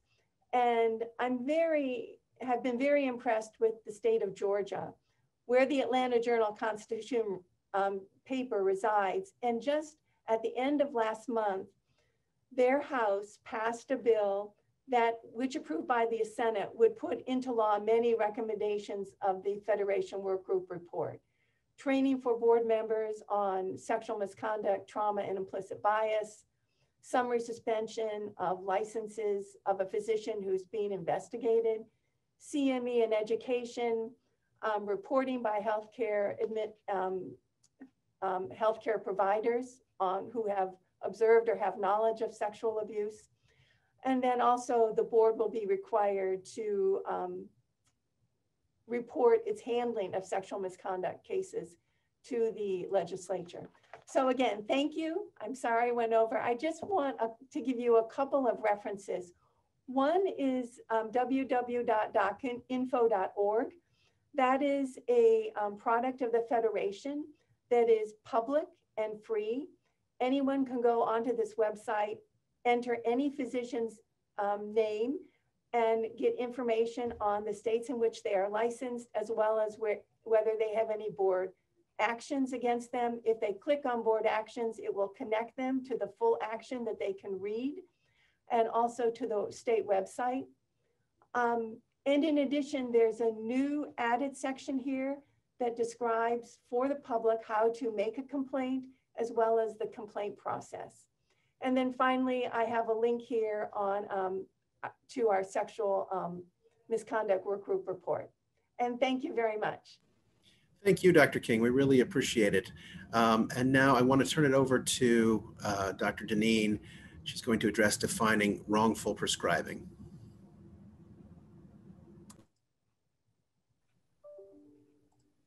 All right, I am really happy to um, be here. I just, uh, uh, Patricia, could you stop sharing your screen? Oh, yeah. Sorry, sorry, sorry. No, that's okay. I think I can't do anything with mine until you Yes, I know. Oh, wow. Okay. There you go. Thank you. All right. Yeah, no problem. No problem. Okay. So, um, of course, I am delighted to be here back, back in the saddle at my favorite law school. Um, I want to thank, uh, of course, Elizabeth Pendo for inviting me to be part of this um, great conference. Um, I want to thank everybody at the center, of course, the students who will be working on these articles in the summer and fall, and most of all, um, Amy Sanders, Cheryl Cooper, and Julie Orr, who keep everything uh, moving with these uh, kinds of events. So, all right. So um, I'm going to talk a little bit about how we define egregious um, prescribing misconduct and um, more and a little bit more about well what do we really know about this? Um, uh, what does the evidence tell us? Because uh, uh, in this area there's a lot of um, conjecture but not a ton of great data. Okay. So i am using the um, definition from the team led by dr DuBois um, an egregious wrongdoing means the type of charge that, if found to be true, would merit suspension or revocation of a license, okay?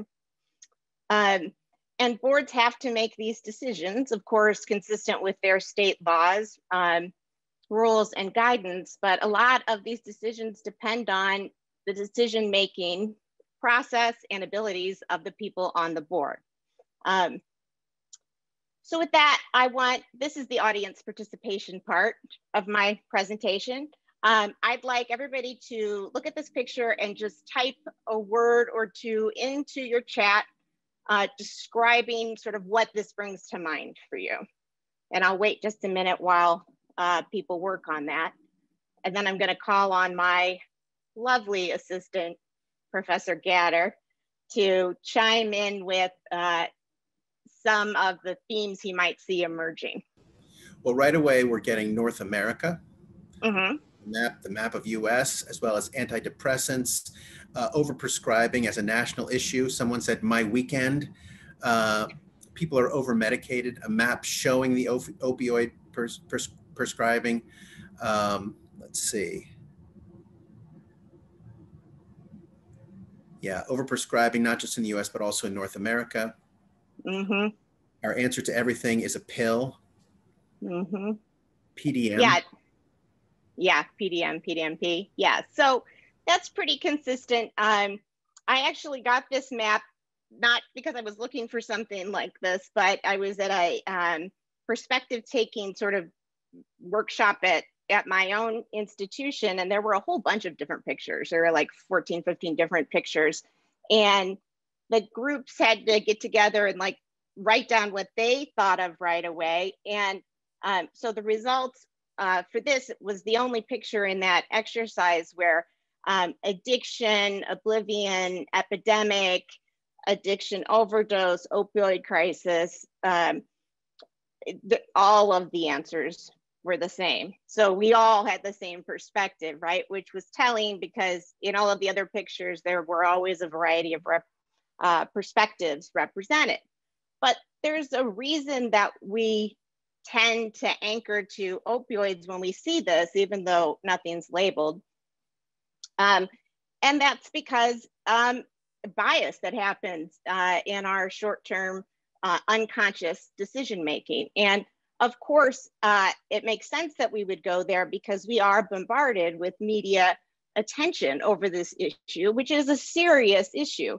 Um, but it's it's all there, it's all loaded for our brains to sort of unconsciously go to when we see something like this. So um, just a little bit more about decision making process. So this is kind of a combination of theories like dual process and fuzzy trace um, theories on cognition when we are making decisions, right? So uh, there's the sort of fast system, the efficient, don't have to think about it, just do it uh, system. And then there's type two systems two, which is sort of the slower, I'm thinking about thinking, I'm thinking through the process by which I'm making a decision. Um, now, we need both of them. They're both really important. We'd never get through a day, uh, much less an hour, if we didn't have this intuitive system.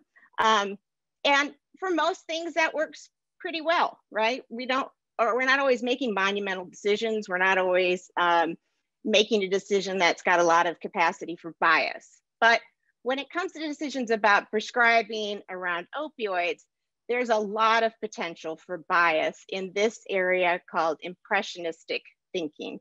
Um, and that's where like implicit bias would sit, where we um, um, jump to conclusions about people and act on them without even thinking through uh, the actions. So um, this is an area that needs some attention, I think, when we're making decisions about opioid prescribing and prescribers, right? Um, and so here are a few biases that I think are particularly at play when it comes to opioids. Um, so confirmation bias, sort of we, like we look for things that confirm what we have an intuition about anyway, right? So that, oh, this is bad opioid prescribing. And so we will look for evidence to confirm that. Um, the availability bias, which is a little bit on display in that earlier exercise, is, is the perceived likelihood of an issue is tied to how fast you can bring it up, meaning how salient is the issue for you. And, um, you know, there's been so much attention in media and public and scholarly discourse about opioids that, um, of course, it, it, it tends to be a very salient issue for all of us. The danger of that though is we we sometimes overestimate some aspects while ignoring or minimizing some other dangers associated with opioid, which we which we have um, over time, and I'll talk a little bit more about that in a minute. Um, then you get visceral biases. So people will even act against their own self-interest if it is an area that um, sparks indignation or disgust or anger.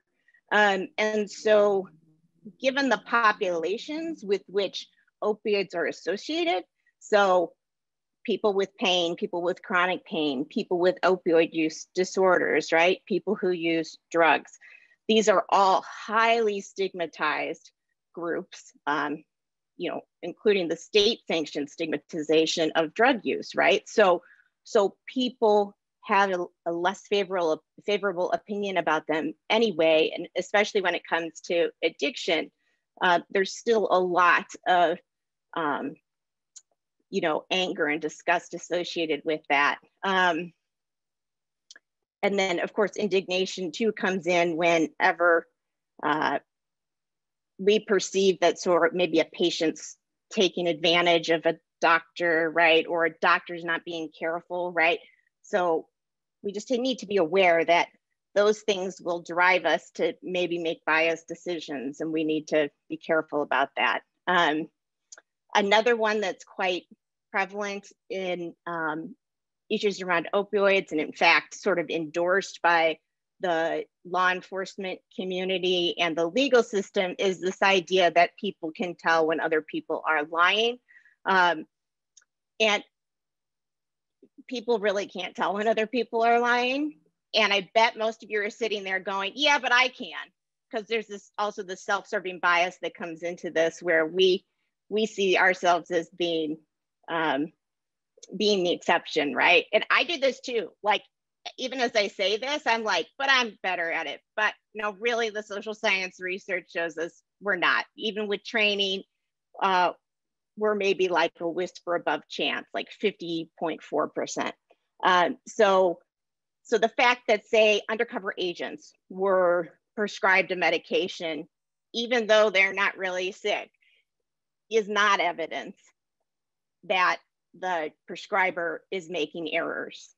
Um, and then and I think I've sort of talked about this. I've described it in other writings about the sort of opioid heuristic where we um, focus it on this to the exclusion and the negative associations um, that we have about people who are associated with opioids, and including the providers that take care of them. Okay. And I think that um, there may be some bias in some of the consensus items, honestly, that deal with uh, the strong consensus that uh, boards should be just checking PDMPs, um, sort of routinely searching them to find bad actors. Um, Jen Oliva is going to talk a lot about that. You should tune in for it because it's going to be good. Um, but um, yeah, so there are just some issues. Okay. So what do we really know about the physicians that misprescribe? Well, so I'm going to rely on work from um, Jim DuBois' group and then an, a paper that Jim and I did together um, to try and explain this. So some of you who are on boards might be familiar with the 4D model that was created in 1980 and endorsed by the AMA, but it, it, the process by which it was created was not um, evidence-based at all. So that 4D model tries to put prescribers into misprescribers into one of four categories dated duped dishonest or disabled right? And um, we did some searches of the literature and some of the board actions and the case law and came up with an alternative model which we called the three c's model uh, which would instead divide um, misprescribers into roughly into one of three categories.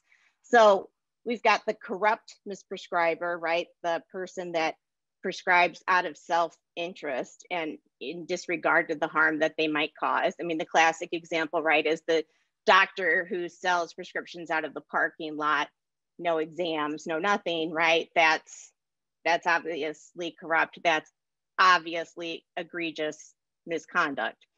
Um, and that aligned with um, Dr. DuBois' group's review of 100 cases that uh, created a typology that would align with the financially motivated misprescriber, right? Then compromised um, by impairment is uh, what it sounds like. A, a prescriber has perhaps their own substance use disorder or other serious illness. And then careless. And so compromised for the most part is not egregious misconduct. Having a substance use disorder is a disease. And the stigma with which providers in particular have to face with having a substance use disorder, coupled with the fact that most physician, um, impaired physicians programs still do not allow evidence-based care for opioid use disorder, uh, may lead some physicians that have that condition to prescribe, you know, self-prescribe. Um, and so treatment should be the first um, approach to this. Um, and then third, the careless prescriber, and, and we categorize this as not as a one-off mistake, but a pattern of prescribing that indicates a, a serious deviation from the standard of care, but not to the point that it fits into the corrupt category.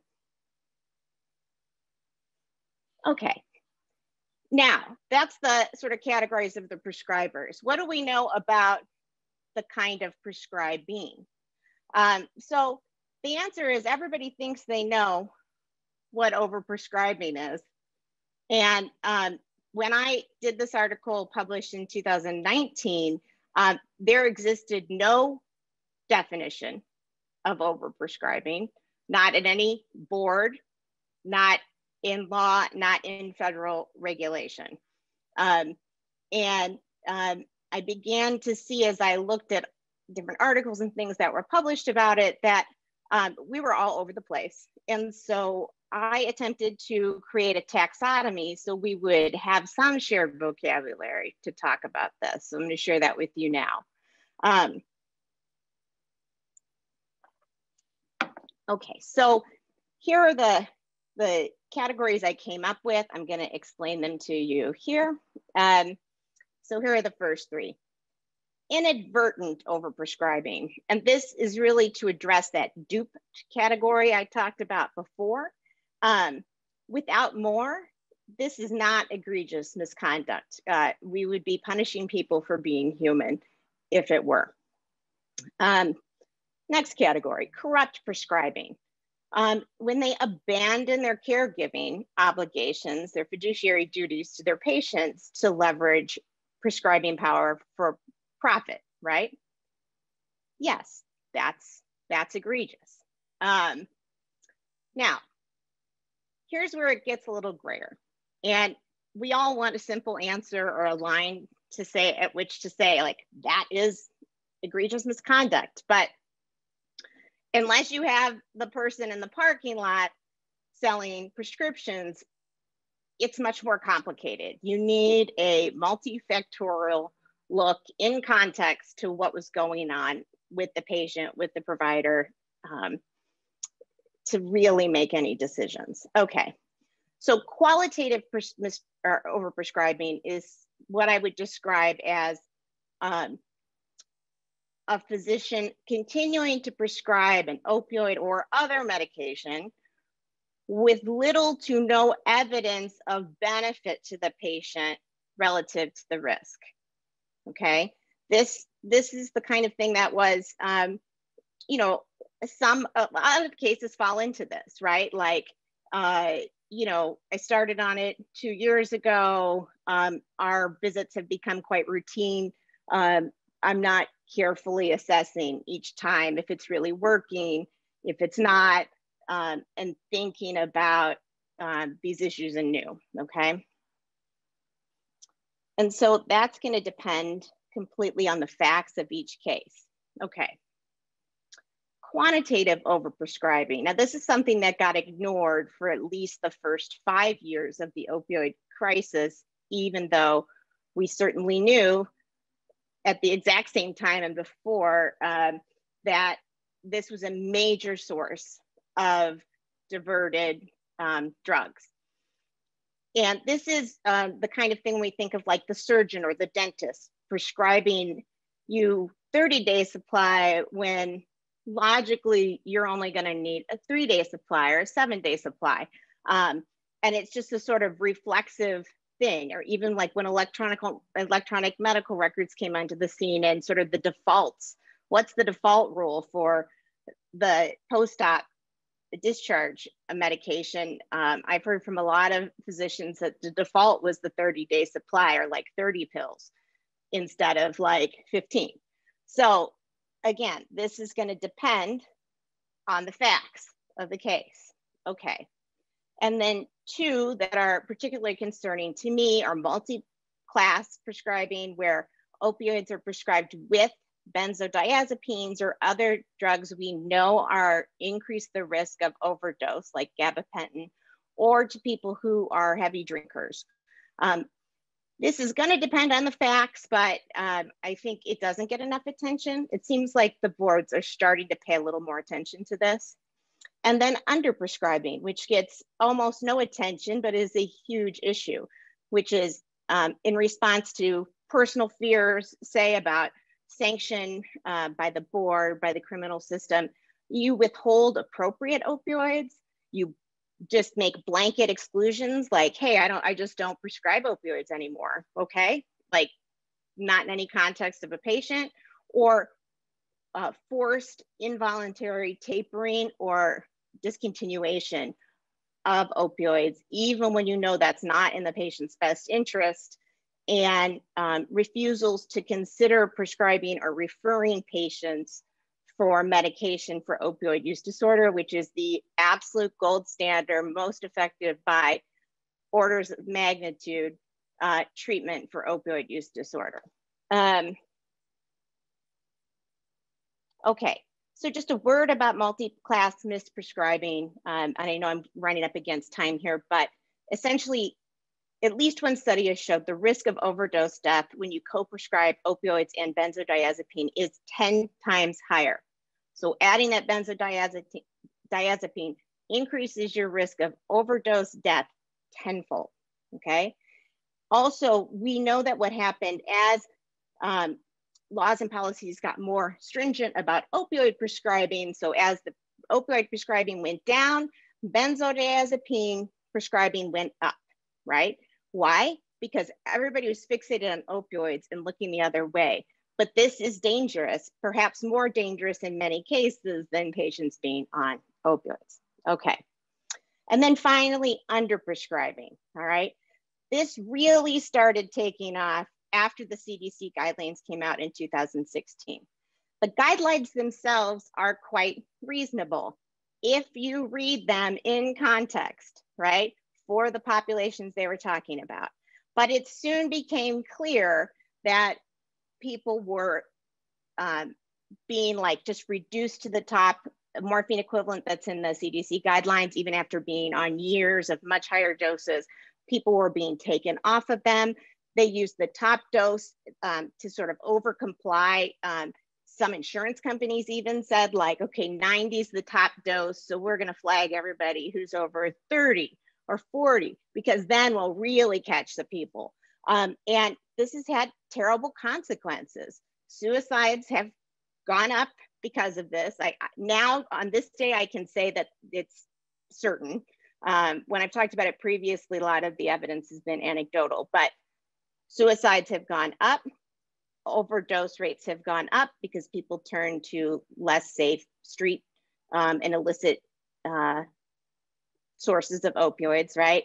And um, so we've just got an avalanche of information now that involuntary tapering and other practices like this are really hurting people and killing people. And we have to be accountable for that. Dr. Um, Dr. Dini, I'm sorry to interrupt. Yes. I just want to let you know we're right up against the time limit and wanted to leave some time for Q&A. So if you have a chance to wrap up. Yes, I'm going to wrap up right now. So at any rate, these, these things happened. Then they started getting attention from international groups of physicians and other providers that treat uh, people with addiction or opioid um, or, or, chronic pain who receive opioids. And um, in 2019, we finally get a uh, FDA warning and labeling changes uh, because of the risk of death. and um, we get the lead author of the CDC guidelines publishes uh, a strong statement saying we might have gotten this, you know, this has been taken way out of context. Please, please, please, please realize it's a guideline and a few other things. And so from what I could see, I have one, I found one case of the state medical board that has taken action against a doctor for abruptly discontinuing uh, opioids in a patient. Um, uh, the patient became suicidal afterward, and um, then he discharged him from care, which is a common reaction. But I, I was glad to see there's at least been one one case because this is important. Um, and so here are my recommendations. I can just leave those up maybe while we're taking questions, and people can read through them. Um, but uh, yeah, so it's you know in context take any complaints about abrupt or involuntary discontinuation seriously. Um, that it's not the case that like, well, what are we going to do? They got to get them off those opioids. That may not be the case. Um, engage appropriate experts. It's really important that boards have experts that can speak to the range of options within sort of the standard of care continuum. Um, and, you know, physicians can be fooled. There's overwhelming evidence that supports medication treatment for opioid use disorder. Perhaps consider either a disability associated with opioids or you know, robust experience in treatment of patients that fall in these categories as a component of board diversity and treat substance use disorder as a disease, not a moral malady. So I hate to interrupt, uh, but this is, it's so fascinating. I feel so fortunate that we've had uh, both these experts here with us. There are a few questions. And so what I thought I'd do is borrow just a little bit of time. I know we're up against a break, but I thought I'd borrow uh, a few minutes of time from the break in order to address a couple of questions. Um, I have a few, I'm gonna narrow it down. Um, Dr. Dineen, since your presentation just ended, why don't I start with a question that was addressed to you. Uh, what about an, an impaired provider who sells scripts to support their own addiction, what under what category would you say that falls? Yeah, I mean that's a tough one, right? Because um, if they're selling them to other people, um, that that does pose a tangible risk to others, right? And um, that's rough. Like, I still think it makes sense to start with treatment if they're amenable, you know, and then uh, you could consider that as part of a pattern if there are future problems. But um, it's really difficult because it is a disability and the cravings are overwhelming from everybody I've talked to. And um, we do not give people, people don't feel like they can admit their problem or get help. Um, even people have lots of resources like physicians. So there's uh, there's a question that, although it was directed to, to Dr. King, I would imagine both of you would have an opinion on in your in, in the substantive area of your presentations. But uh, Dr. King, what would you suggest as a means to encourage physicians who have a problem with professional sexual misconduct to come forward and self-report so as to get help with the problem without the fear of some sort of severe sanction or permanently losing their license? Mm -hmm, mm -hmm. Um, that's a good question. So certainly, um, in the case of um, substance abuse um, and other and other um, problems, every state has a um, a physician health program um, for self-reporting. Um, you could self-report directly to the board. I think in the case of sexual misconduct, the board has a responsibility really for public protection. So depending on what the what the acts were, what the behaviors were, um, it would it would have to go through an evaluation, and and then if there really was risk to the public, um, depending on that, could this be could there be a remediation program, or and following that, ongoing monitoring. Um, that might involve some type of practice monitor or other limitations, I think would um, would have to be done for public protection. Again, it's um, and an evaluation, a psychiatric evaluation, which could be done through the PHP program to look at other factors that are involved. Um, I think any board would work with someone who is coming forward, again, knowing that their first responsibility is for public protection. So I do have um, then a, a, question I think I'll close on that was directed to both of you. How can the types of bias that each of you addressed be acknowledged and addressed, especially in the context of group decision making? Have you seen evidence that diverse groups are better positioned to do this? Uh, and why don't we I'll have uh, Dr. Dineen go first, then Dr. King, you can wrap it up. Well, I learned from Elizabeth Pendo about the great uh, literature on the benefits of diversity on a board for decision making. Um, so I would imagine the answer is yes. In terms of the kinds of things that I talked about, I think there are a number of strategies um, that individuals can take. I think a number of uh, cognitive forcing strategies like cr creating uh, checklist and criteria that really have to be evaluated um, for each case might be helpful. Um, I would imagine uh, Jim DuBois would also have some really good thoughts on this. Uh, he's done a lot of work around um, uh, mitigating biases and decision making in certain contexts as well. Um, so yeah, I mean, and then I think the first step though is understanding that we all have biases and have having training on that and then um, figuring out what strategies you can use.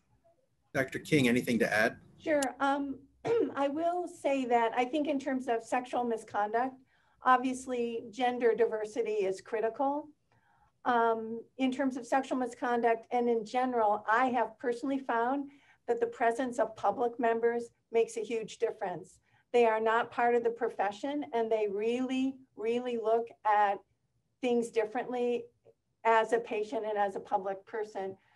I also will add that it's, you know, being on the medical board at least, it, it is a fair amount of work. I mean, people are spending hours, hours reading through records. Um, it's, it's sometimes hard to get people to serve. So I think um, it is always best when there's diversity but also, as Kelly said, also, you know, taking time to do implicit bias training with the board, with the members you have, to try to also improve your, your current membership. Um, so, but it, it, definitely makes a difference. And, and um, I think, as I said before, the full participation of public members is a key thing on medical boards. Well, thank you very much. Um, so applause, applause for the for the you. panelists. We really appreciate it. Um, uh, I'm going to let um, Amy talk to us about the break, but before we go, just you may have seen in the chat, those who were presenting, that there are some questions in the question and answer area that didn't get uh, addressed live here. There is an opportunity to, for any panelist to type an answer back on any of those as well. All right, welcome everyone. We are going to get started with our last panel of the symposium. I am going to introduce the speakers in the order that they will be going, and then uh, we will go ahead and get started. My name is Ruqaiijah Yearby. I am a law professor at St. Louis University, a member of the Center for Health Law Studies, as well as co-founder and executive director for the Institute for Healing Justice at St. Louis University. Our first speaker will be Jennifer Oliva who is an associate professor and director of the Center for Health Law for Health and Pharmaceutical Law at Seton Hall Law, where she specializes in health law and policy, FDA law, drug policy, evidence, and complex litigation. An honors graduate of Georgetown University Law Center, uh, where I also attended. Professor Oliva was a public interest law scholar and served as executive notes and comments editor of the Georgetown Law Journal. Prior to attending law school, Professor Oliva earned a master's in business administration at Balliol College. I'm sure I said that wrong, Oxford University. She was elected as a Rhodes and Truman Scholar while a cadet at the Unit United States Military Academy. Um, her bio is quite long. I am going to stop there though and to move on uh, to our next speakers. And I apologize in advance if I am mispronouncing anybody's name. Uh, so uh, our next um, presentation will be done by Lissa Lamkin Broome. Uh, Burton Craige, Distinguished Professor and Director of the Center for Banking and Finance at the University of North Carolina at Chapel Hill School of Law. She is uh, the director of the Center for Banking and Finance, faculty advisor to the North Carolina Banking Institute Journal, and head of the school's uh, Director Diversity Initiative, which works to increase the gender, racial, and ethnic, ethnic diversity on corporate boards of directors.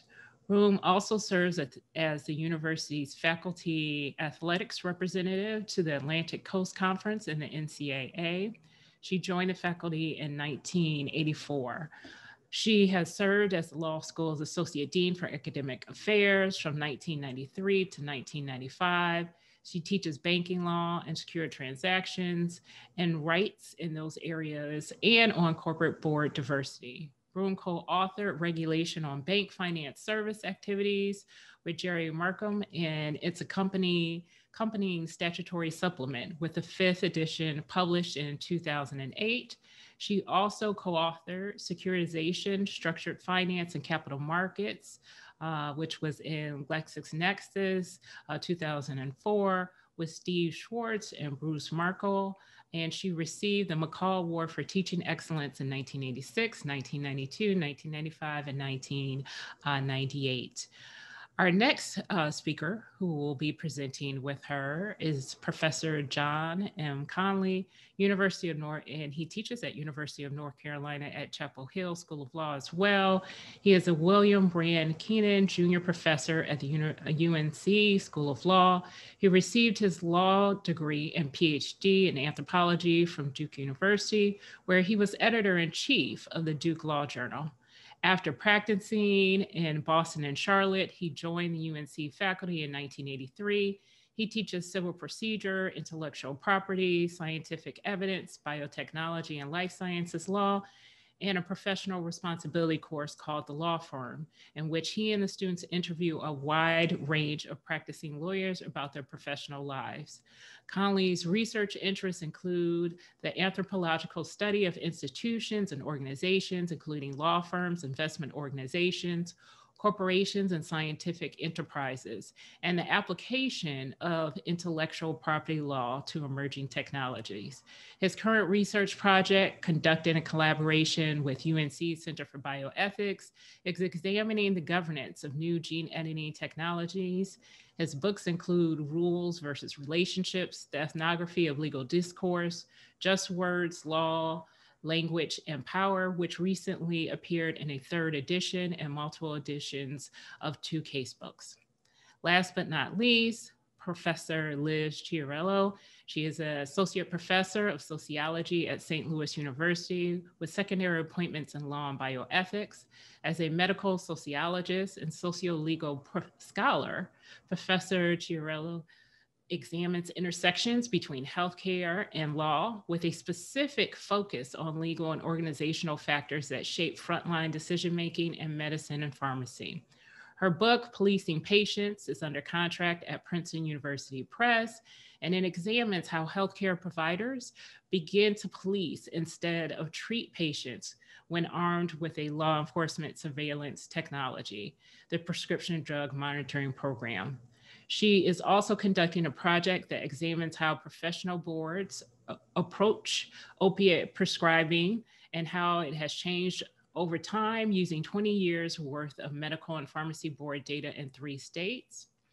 She, uh, her research is supported by National Science Foundation Career Award, and she was a 2019-2020 Radcliffe Fellow at Harvard University. She has received multiple awards from the American Sociology Sociological Association, and her work has been featured in various outlets, including NPR, US News and World Report, Radcliffe Magazine, the St. Louis Post Dispatch, and our own SLU Law Summations podcast.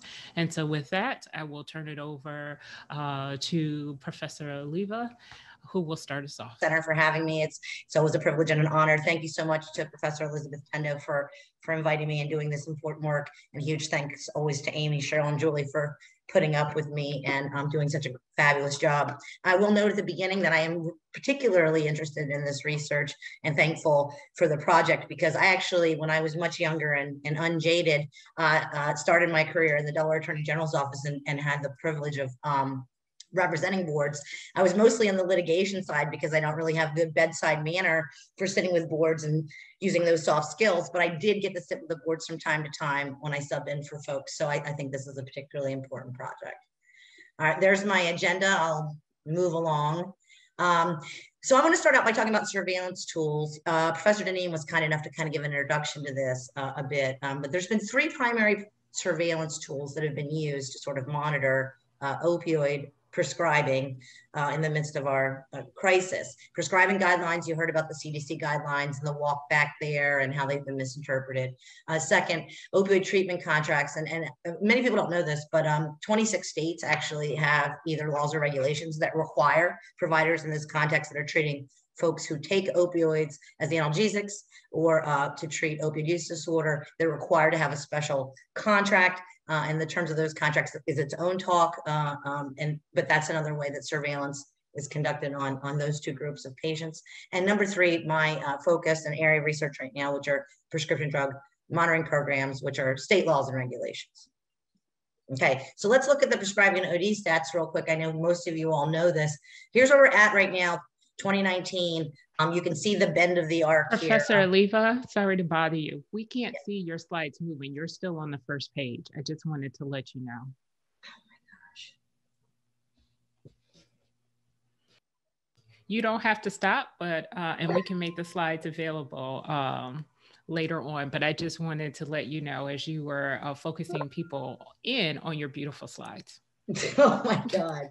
What is happening? I even practiced this. What a Oh my gosh. Can you see them now? Yes. Yep. And it does it say total prescription opiates at the top? it top? Does. All right. Does. So here's the bend of the arc that I was showing you guys. It is actually my first interesting slide, so don't don't worry about what you missed. Um, and we can see that prescribing is way down. In fact, lower than um, at 2005, but certainly lower than peak around 2012. Okay.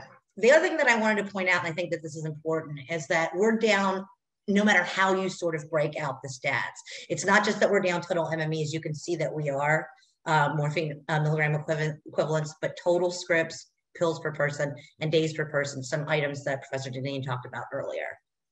Okay, unfortunately, despite that, that what looks looks like a good couple first slides here, uh, we uh, overdose deaths are way up, and you can see that the CDC actually issued an advisory alert in December, uh, and they looked back at a 12 month period. You can see there saying it's this is a worsening of the epidemic, and it's the worst drug overdose 12 month period ever recorded in American history. Uh, driving this is uh, now, as we've gone through these stages, and you'll see in the, the next couple slides, is um, synthetic illicit synthetic opioid uh, drug involved deaths. Uh, and that's what the CDC headline is, and that's a report that I referred, referred to, and I'd be happy to share that with anybody, but that's the alert that I'm talking about. we we talk about this in three waves, right? Um, we went from we overprescribing and having deaths associated with RX opioids to um, a huge increase in heroin, and then um, now on um, these synthetic deaths that I was going to that I was talking about. Um, overdose deaths are six times higher in 2018 than 1999. That's not the way we want to be going, even though we're shoving prescribing way down. The other thing I just want to show right here is that there are several categories of other drugs of concern uh, that have higher overdose deaths right now than opioids, and those include um, uh, several stimulant categories in, cocaine. Um, okay, so here's overall over, opioid, or I'm sorry, all drug overdose deaths, excluding alcohol and tobacco, you can see this peaking up. One thing I want to point out, since my talk is about gender and racial bias, is the difference in overdose deaths between men who are in the yellow line and women. And then this is opioids, and you can see an even larger disparity between uh, men and women uh, in the overdose death category there. Okay. Um, prescription opioids are down. I've already said all that. Let's move on. So let's talk about pain right now. The first category of patients that I'm going to talk about are people with persistent or chronic pain conditions. Um, this is the number one reason why folks in the United States seek healthcare treatment, and it's the number one disability in the United States. In fact, I, I frequently say to people, if, if you live long enough, uh, you yourself will have a pain-related disability. Okay, it's almost inevitable. The numbers of folks uh, that suffer from persistent pain in the United States is huge. Studies vary between 50 and 100 million people. So you, that's just a huge number. Um, these patients have a long history in the United States of uh, under treatment and under assessment. Um, doc, I just recently wrote a paper and I was not for lack of studies that have gone out and found surveying doctors and patients that doctors find these patients particularly difficult, untrustworthy, often use words like malingering and drug seeking. Uh, so long stigmatized, just like patients who um, are being treated for substance use disorder. Uh, the other thing that I found and spent quite, quite a bit of time on the paper was that there's been a long history of sexism and racism here as well. Uh, women are often viewed as, uh, their pain is viewed as uh, less uh, uh, tr- trustworthy than men's patients. They're also often viewed as being psychosomatic, uh, hysterical, which is a word, obviously a word that derives from misogyny. Um, and then, of course, um, really old tropes about um, Black people and people of colors, physical superiority and pain tolerance, which really goes back to uh, old eugenics notions, uh, back to slave breeding and things like that, that are really offensive. Uh, here you see one of my favorite guys. I use him a lot in FDA law, and, and uh, John Oliver, and he had a, a, segment in August of 2019 where he had he, he showcased a, uh, female comedian, one of my favorites, Wanda Sykes. Wanda Sykes actually had a BRCA gene, and so she had a prophylactic double mastectomy. And in the comedy routine, uh, she goes on to say, you know, whereas for white people, you know, opioids were available like Tic Tacs back in the aughts. Um, when she was released from the hospital, she was um, sent home after the uh, prophylactic double mastectomy, literally with a bottle of ibuprofen. Um, and she's saying that because it's true. Um, she's saying that because it's true. Black people entirely undertreated. There's studies on this. Um, the, the sort of racial divide runs so deep here that small Black children are grossly undertreated for pain when they have bone breaks and things like that. I mean, this is super rampant in medicine. And like I said, there's no lack of studies. And again, you see these dates, these are 2020. I just wanted to show you that this isn't old timey stuff from back in the day. Okay, here we are right here, hysterical women, hypochondriacs, and all of these kinds of things real recent. Um, here's a study that a lot of people point to, and I think this is really important because of what I'm going to show you about what medicine's reaction has been to saying that there's a lot of racism and sexism and pain treatment and substance use disorder. Uh, this is a, you can see here, this study was approved in uh, 2016. So there's nothing too old about it, all right? The findings are dramatic and quite shocking. And what they are basically is they surveyed a bunch of lay white folks and then they surveyed a bunch of medical students and residents. So these are people who are pretty new doctors right now that they surveyed in 2015. Okay, they had these folks overwhelmingly maintain beliefs that would cause um, Black patients to be grossly underassessed and undertreated for pain. 50% of medical students uh, uh, believed any one of these four things that I'm actually not going to read because I've read it a number of times and it always gets me in a bad mood, but just crazy myths about people that are absolutely completely physiologically false. Uh, and those are new medical residents. So that's a very recent study. I'd like to show that. Um, the reaction to this was uh, entirely unsurprising, but really disappointing. Um, we have two white guys here in the uh, uh, New York Times. I was super happy to get their picture up so you guys will believe me, um, where, where they wrote an article admitting that there's tons of implicit and explicit bias here and that Black patients have suffered egregiously uh, in the pain treatment context, but um, also, you know, a rare case where they should be grateful and, and thankful for that, like proving Wanda Sykes's uh, comedy was on point this happened this week. I don't need to beat you guys down with it. If anybody's on Twitter, you know this happened this week with JAMA. I mean, no physician is racist. How can there be structural racism in healthcare? I actually listened to the podcast. I I taped it in case anybody needs it later on because I imagine they've pulled down the tweets. They're probably going to pull the podcast down too. But this was, you know, folks going on and on about doctors aren't racist, um, even though the history of medicine is is is imbued with racism. And the AMA itself wouldn't even allow black doctors into the organization until the late 1960s. I mean, that's it's not hard to sort of make this case. Another thing I want to point out is SAMHSA and some of the agencies in the federal government have been pretty good about this, but the newspaper and the media hasn't so much. Um, there have been dramatic increases in overdose rates associated with people of color, Black people, Hispanics, et cetera. And you can see here that SAMHSA got so upset about this in 2020 and how underreported it, it is a category of concern. You can see here from 2011 to 2016 compared to all other populations, you're seeing the highest OD rates uh, with the synthetic fentanyl uh, with um, uh, people of color and Black people. And, and so I think this is really important. This has been the narrative, this, this is a white problem, that seems to persist, unfortunately, in the media. Um, but that's factually inaccurate right now. And I think that that has not gotten nearly enough attention. Um, here again, um, in addition to um, the fact that um, we have all of this other stuff going on, the treatment of opioid use disorder is really racially divided. Okay, we have uh, in the suburban context for people who can pay, white folks often getting Suboxone. You can see that white young man in crisis in the corner, and then you see the pictures in the New York Times from this article I have here showing, you know, predominantly people of color in long lines waiting to get their methadone, which has a lot more requirements attached to it. It's a lot more tricky to get treated with it, even though methadone is the gold standard treatment. And Professor Dineen already brought that up. So there's some recent pictures on that. So let's talk about these prescription drug monitoring programs. I think that most folks here know what they are, but just a quick overview. These things have a long history. They developed in New York State and then California and Bureau of like narcotics enforcement. They were there's no question that they were law enforcement tools. They continue to be law enforcement tools because they're funded by federal DOJ under a, a grant program and are advocated by the DEA. Some states have kept them in law enforcement agencies. California is the biggest state that has its PDMP in the state's attorney general office as a, as a law enforcement tool. It's not even in a board of pharmacy. They don't even pretend that it's not a law enforcement tool, which is very honest of California. What these things do is they track prescribing of controlled substances as a general rule. They used to just track Schedule Two drugs, where you find most opioids is in Schedule Two and a few in Schedule Three, like buprenorphine.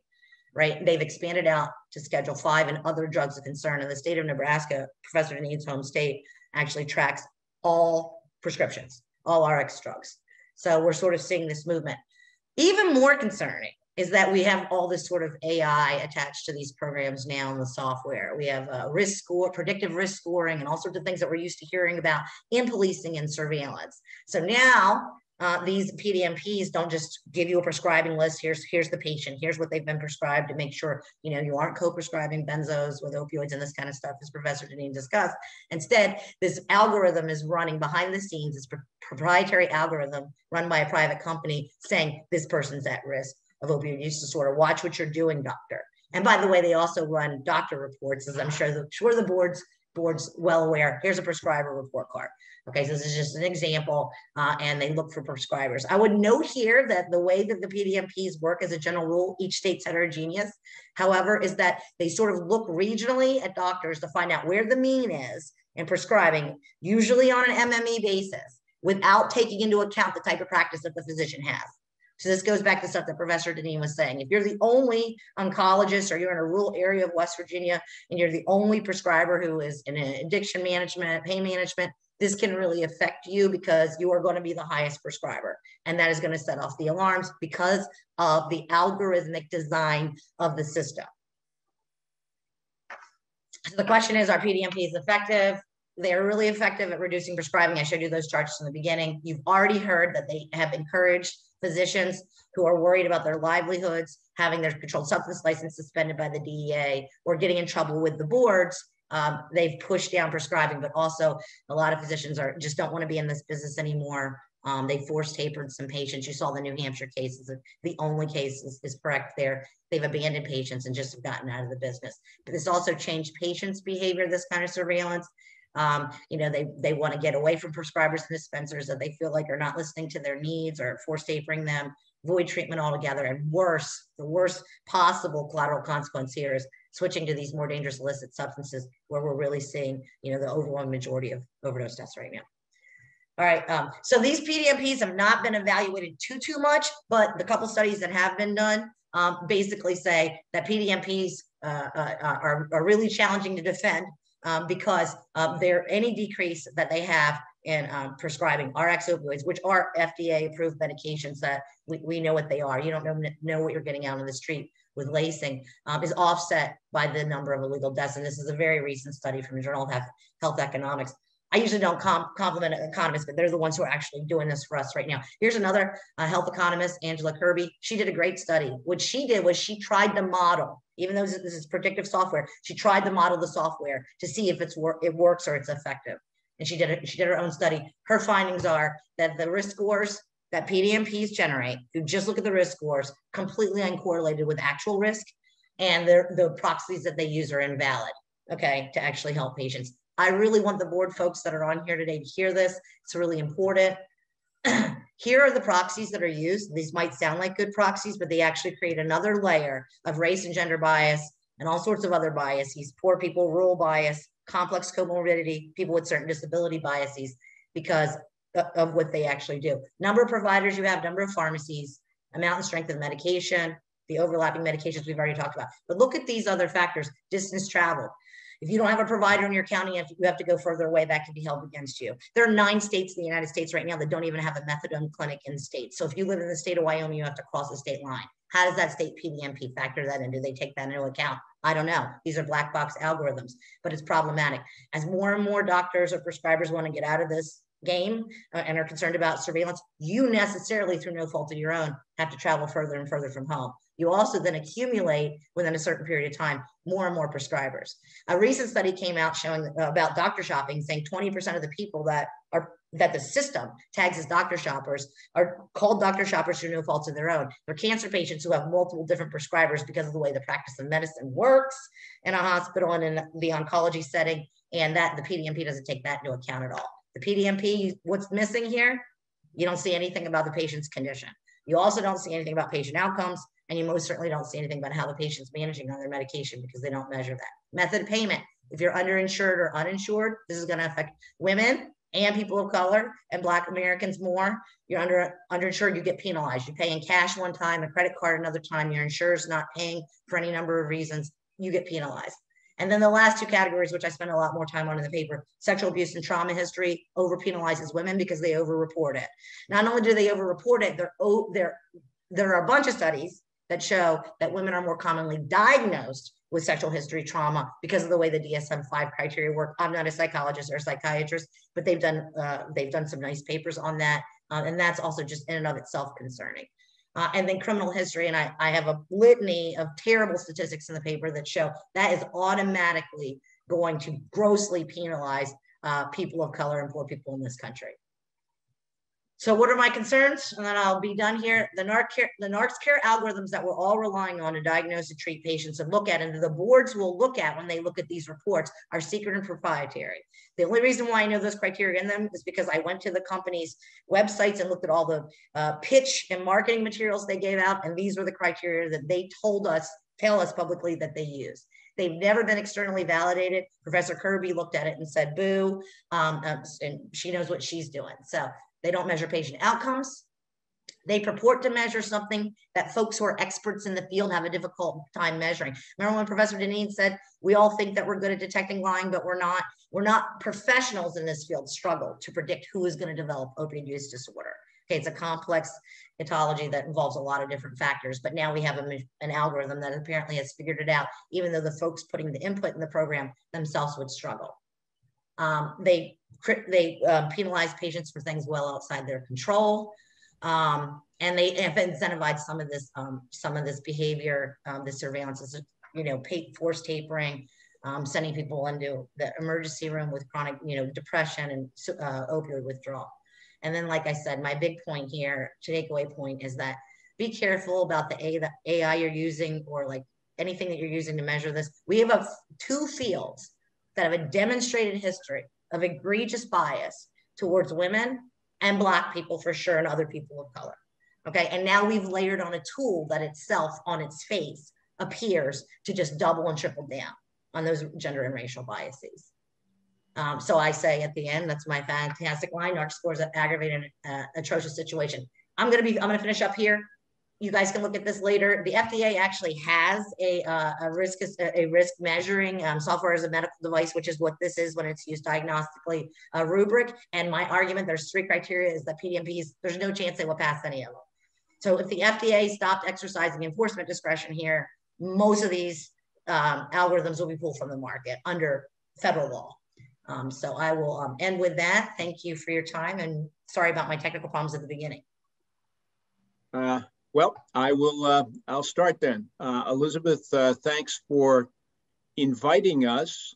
Uh, Lisa and I are going to go back and forth. We're going to be drawing on some extensive interview-based research we did on corporate boards a few years ago, wherein we interviewed uh, all kinds of players in the corporate board world, directors, executives, lawyers, headhunters, regulators, consultants, uh, and on the literature we reviewed in doing that research, and also uh, some work I've done on legal discipline in connection with uh, my teaching of professional responsibility. So I'm going to begin by reviewing some of the arguments from four, four diverse boards that Lisa and I encountered in our corporate research. And uh, the ones on the left come largely from the literature, the ones on the right of the slide from our own research, things that people told us about. Uh, fairness, and fairness means a couple of things when you argue for board diversity. Uh, it means what fairness means in the broadest sense against a history of discrimination is simply the right thing to do to diversify corporate boards. Uh, it also means fairness in the sense of uh, the directors of an organization that strives to be diverse uh, should themselves be diverse. Then there are, a category that's usually referred to as business justifications, things that arguably affect the bottom line, although this literature is uh, mixed on the ability to prove that. But these are the arguments. There's an untapped talent pool out there, which you're ignoring if you're if you have a board solely uh, of white males.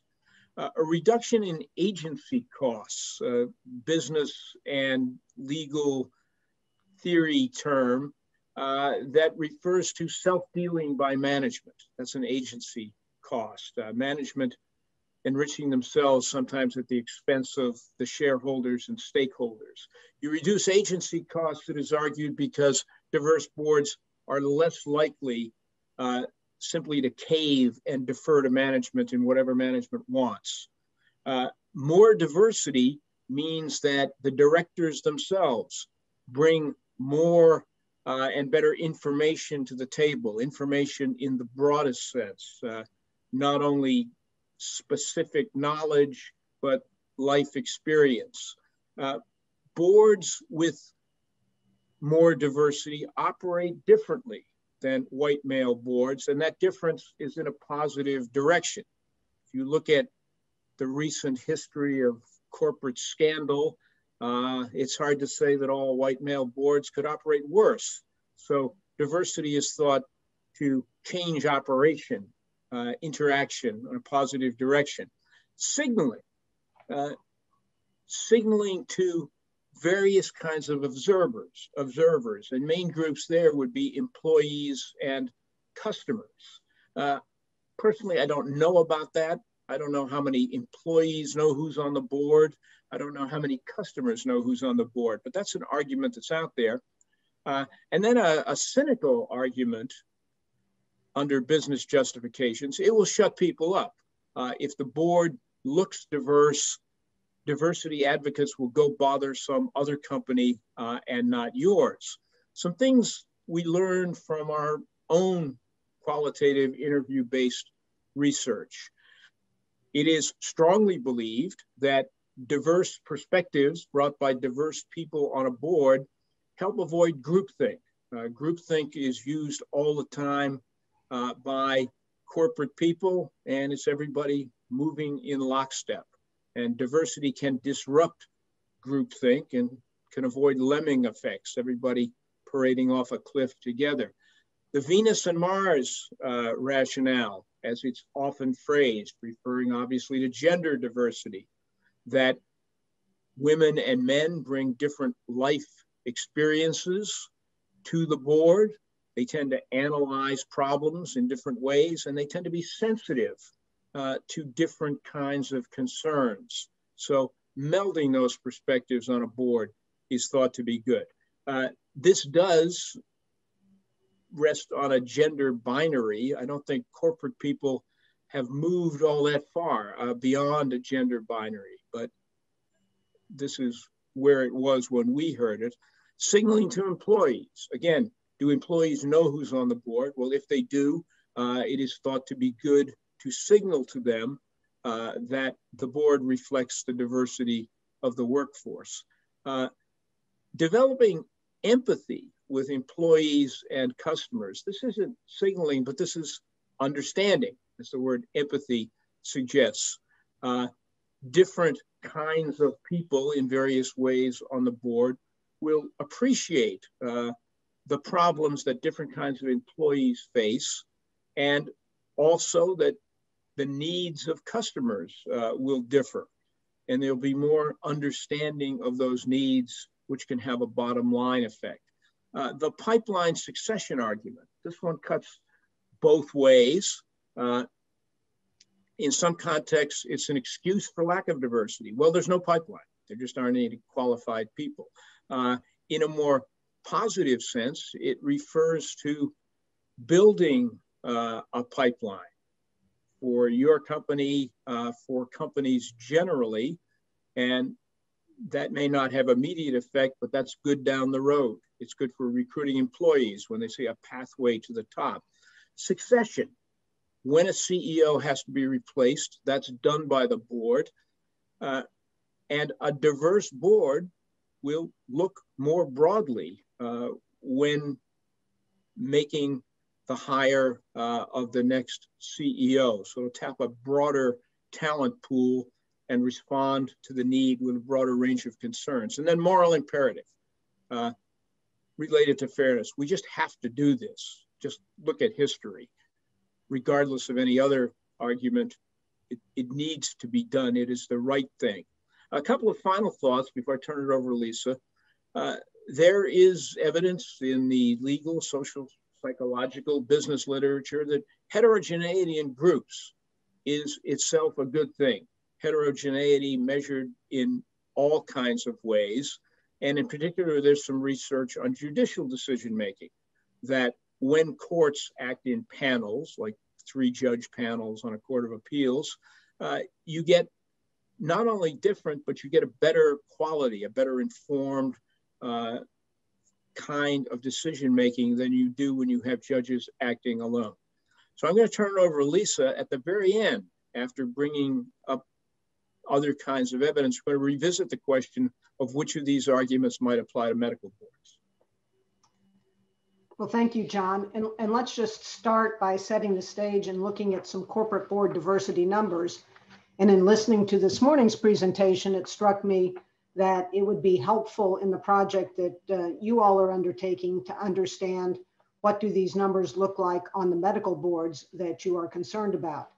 So on corporate boards, um, there are some numbers from a few years ago. I'm pleased to report that they're probably all higher now but the percentage of female board members on the Fortune 100 companies, the very largest companies, was 25%. And then it uh, moves down. Uh, the bottom one is the North Carolina top 50 public companies, which includes some really big ones, but also a number of very small companies in our state. And this uh, shows that sort of the largest companies have the most diverse, at least in gender diversity, boards. And there may be a couple of explanations for that. Uh, one, that they're uh, able to devote the resources to identifying and compensating uh, good women board candidates. Uh, perhaps, as John suggested, they're more in the public eye. Uh, shareholders are looking at them and scrutinizing their board, perhaps more than smaller companies. And so it is more of an issue for their constituencies that they want to attend to. Um, and um, or perhaps it is that they've been more successful because they have diverse boards. So we don't necessarily know the causation there. In looking at, um, get to the next, whoops, now I'm having the slide problem too. Okay, here we go. Percentage of BIPOC board members or Black, Indigenous, people of color um, this is a much harder number to get at. It's pretty easy to look at a corporate proxy statement and determine who's female, and often they'll talk about Ms. Broome or Mr. Conley, and you can judge that way, even if there is an ambiguous first name. But um, for people of color, it is much more difficult to determine uh, and, and much less measured. Uh, and again, that is something that you know your project ought to think about with respect to looking at diversity on medical boards. Um, but again, you can see the uh, pattern is still consistent for when we have been able to measure uh, this diversity, that the larger companies have greater diversity than the smaller companies. And then that uh, bottom line is, um, you know, women of color, and they are really particularly disadvantaged with respect to uh, the diversity numbers. So let me uh, talk now about some corporate board diversity, diversity focuses and approaches. And again, we heard this morning the recommendation that Elizabeth made that we uh, get uh, geographic, racial, ethnic, cultural, and gender diversity of the state, the board ought to, the medical board ought to reflect that diversity. Um, like Elizabeth, I'm a little curious about what cultural diversity is, um, but how do you know you have it? So you need to understand uh, what it is you're looking for, what your current uh, numbers are, and then are you, uh, what is your state's uh, breakdown via these various factors that you are saying that are important, and then how does your board compare uh, with, with that state breakdown? And the issue came up this morning of how about the LGBTQ plus community, should that be uh, added in to that type of diversity as well? And so I'll tell you how um, corporate uh, diversity has developed over the years. The, the first focus was on gender diversity. Um, and that started uh, really in European countries, particularly in Norway, led the way. And they did it with a mandate requiring 40% of the boards of corporations have be women by a certain date. And if not, uh, that the company be delisted from the stock exchange. So in addition to figuring out what is it that you're trying to achieve, what is the percentages you're trying to hit, counting to determine have you hit it, the next question is if you don't, what do you do about it? So, what is the consequence? And in Norway, it was a very severe consequence. And lo and behold, with these mandates, uh, which I prefer to the more um, laden term quota, um, there was gender diversity achieved. California passed a statute um, back in 2018 or 2019 mandating gender diversity and then followed it up last year with additional uh, racial and sexual orientation diversity that must be uh, present on boards of directors of California companies by certain time periods, or else uh, the or else is a $100,000 fine, uh, which goes up over time. So um, you could approach it through a mandate. Um, let's see. There are uh, other approaches that say, let's set a target, and that may be more like uh, the approach that is being proposed for the medical boards. And then if you don't hit the target, uh, comply or explain. You need to, if you don't hit the target, you need to explain why. And one of the large uh, stock exchanges, NASDAQ, recently proposed, uh, and this proposal is before the SEC, that there be targets with respect to uh, female representation, um, and um, uh, people of color representation, which could include also LGBTQ plus representation that was included in the California statute as well uh, within a certain time period. Um, already, the corporations have pushed back on that and have said for small boards where we have five or less, we should really only be required to have one diverse person, not one woman and one person of color or of uh, the BIPOC sexual orientation. So I know uh, this morning we heard that some of these boards are small boards of, of five, perhaps, or maybe a few more. And so on smaller boards, uh, this kind of diversity is probably going to be more difficult to achieve.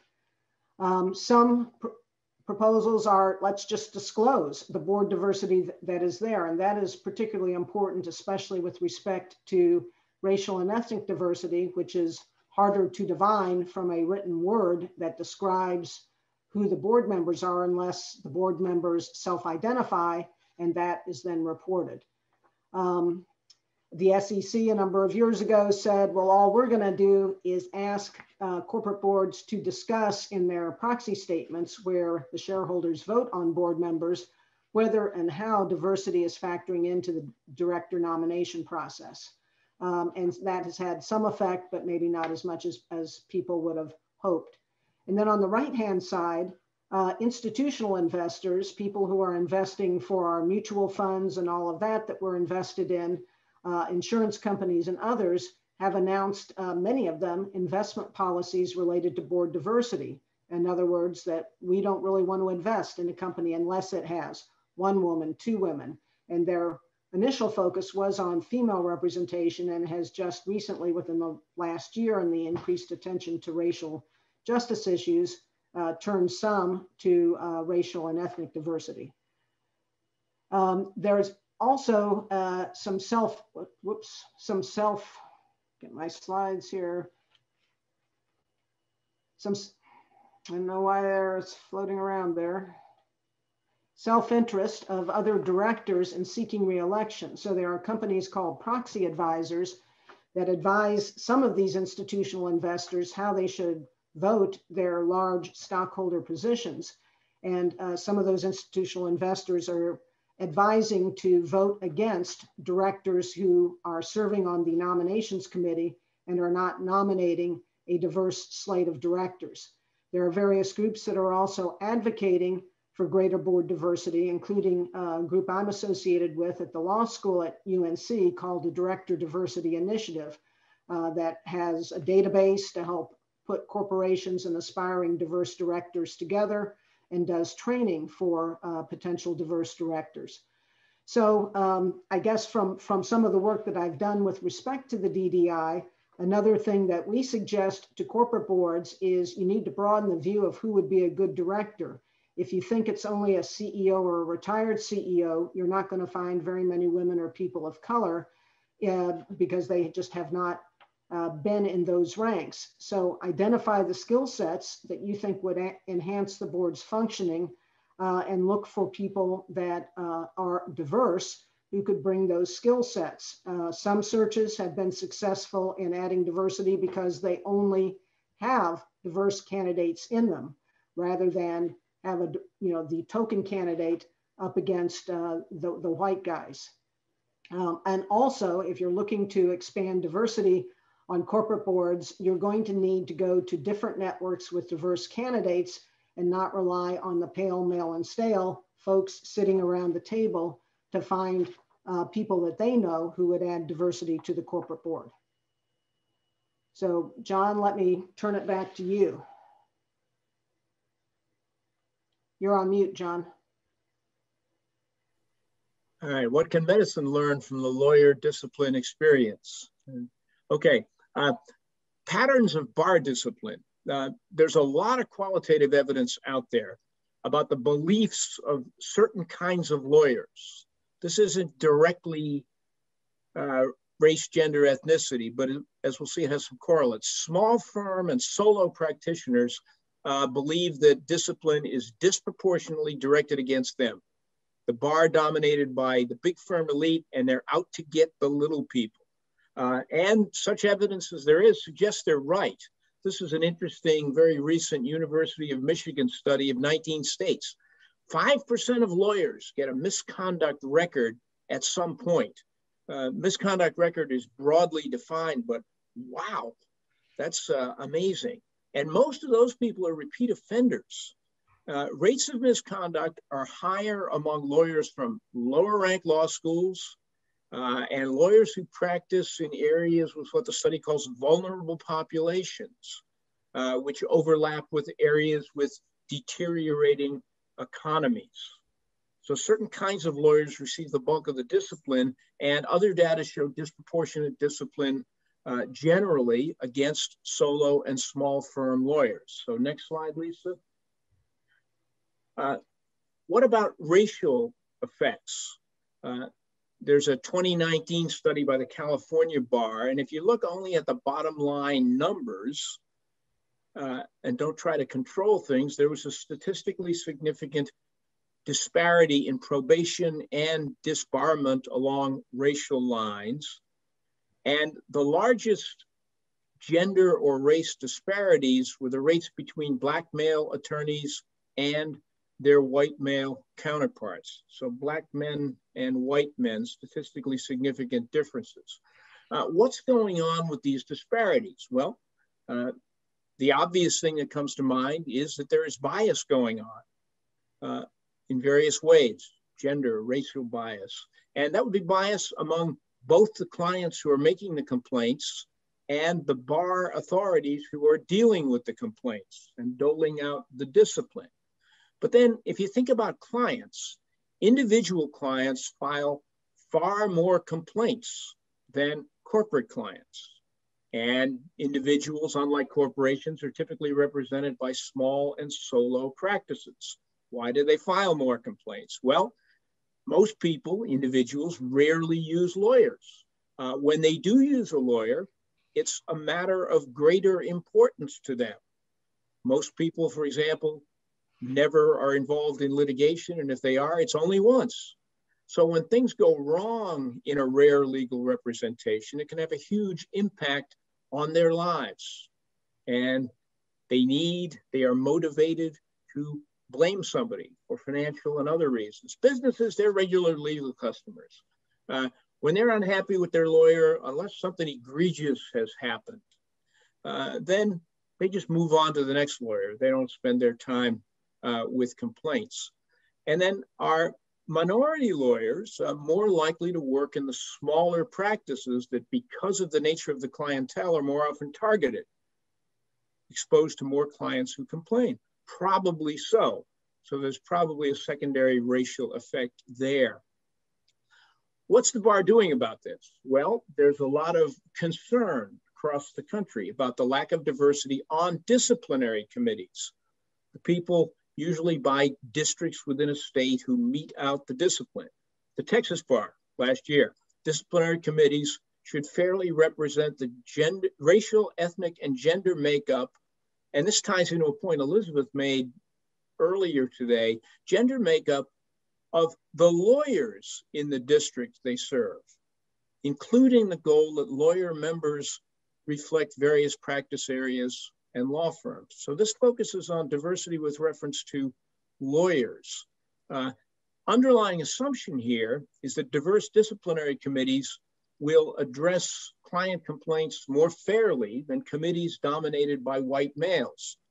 There's a secondary objective here, but it's clearly secondary, and that is make aggrieved clients feel more comfortable about asserting complaints and more confident that the outcomes will be just. Next slide, Lisa. Okay, so what might medicine learn? Well, first of all, the focus of the bar seems different from what people have been talking about uh, today, and I've been reading in connection with this symposium. The bar's diversity initiatives are focused on a specific and a different problem, protecting lawyers, protecting lawyers from biased and unfair discipline. There is concern about protecting clients, uh, but that tends not to focus on the disciplinary process itself, but on rogue actors uh, and rogue firms, the pathological individual. But even if the diversity on committees uh, is intended to address a different evil, uh, the benefits of diverse boards may translate across the professional boundaries. All right, so we wanted to kind of bring this home here and maybe we can move through these last two slides expeditiously and get us back on track time-wise to uh, go back to the arguments that John presented at the beginning to determine whether these arguments for diverse boards in the corporate board setting would apply in, in the context that um, we are looking at here of medical boards. And I guess, you know, the fairness argument is a big one. And, um, you know, I would posit what, who do you want the board to represent? The diversity of the physician population within a state, the diversity of the population within a state, uh, assuming that that is a proxy of the patients who the board is trying to protect or who. And I, th I, think it is the latter that Elizabeth was suggesting this morning um, in the population of the state as a proxy to the patients in the state. Uh, the business justifications, uh, obviously the medical boards aren't business organizations, but they could benefit also from these untapped talent pools of uh, women and people of color who might not previously have been asked to be on these boards. Uh, looking diverse will perhaps uh, alleviate the need for conferences like this in the future uh, because people will say the boards are diverse. That can't be the problem. Signal to patients um, and others, uh, maybe even other doctors. Um, so I think many of the things that we discussed really are um, potentially carry over into this. And I'll, I'll ask John to, to join in with the last word or any additional observations, but I'd bring your attention to the last bullet there about fishing in a bigger pond.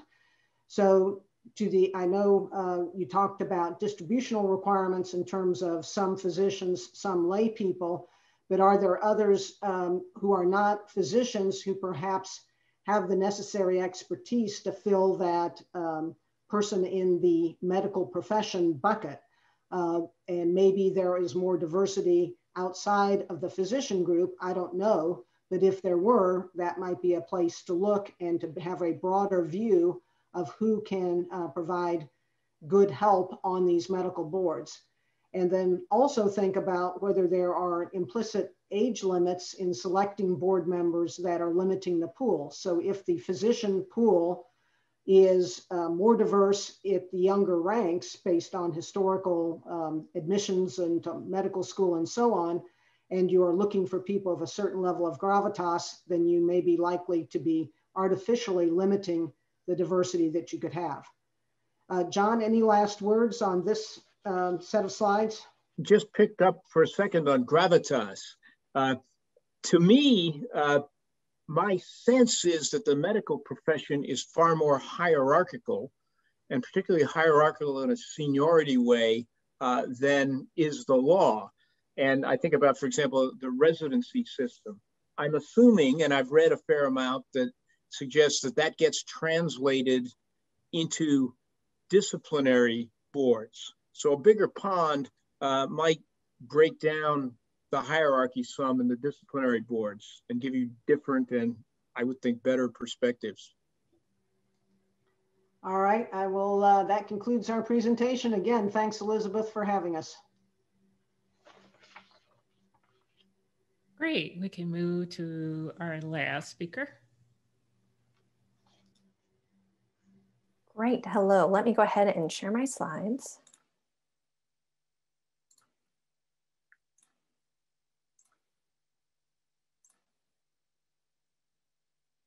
All right, are you able to see those?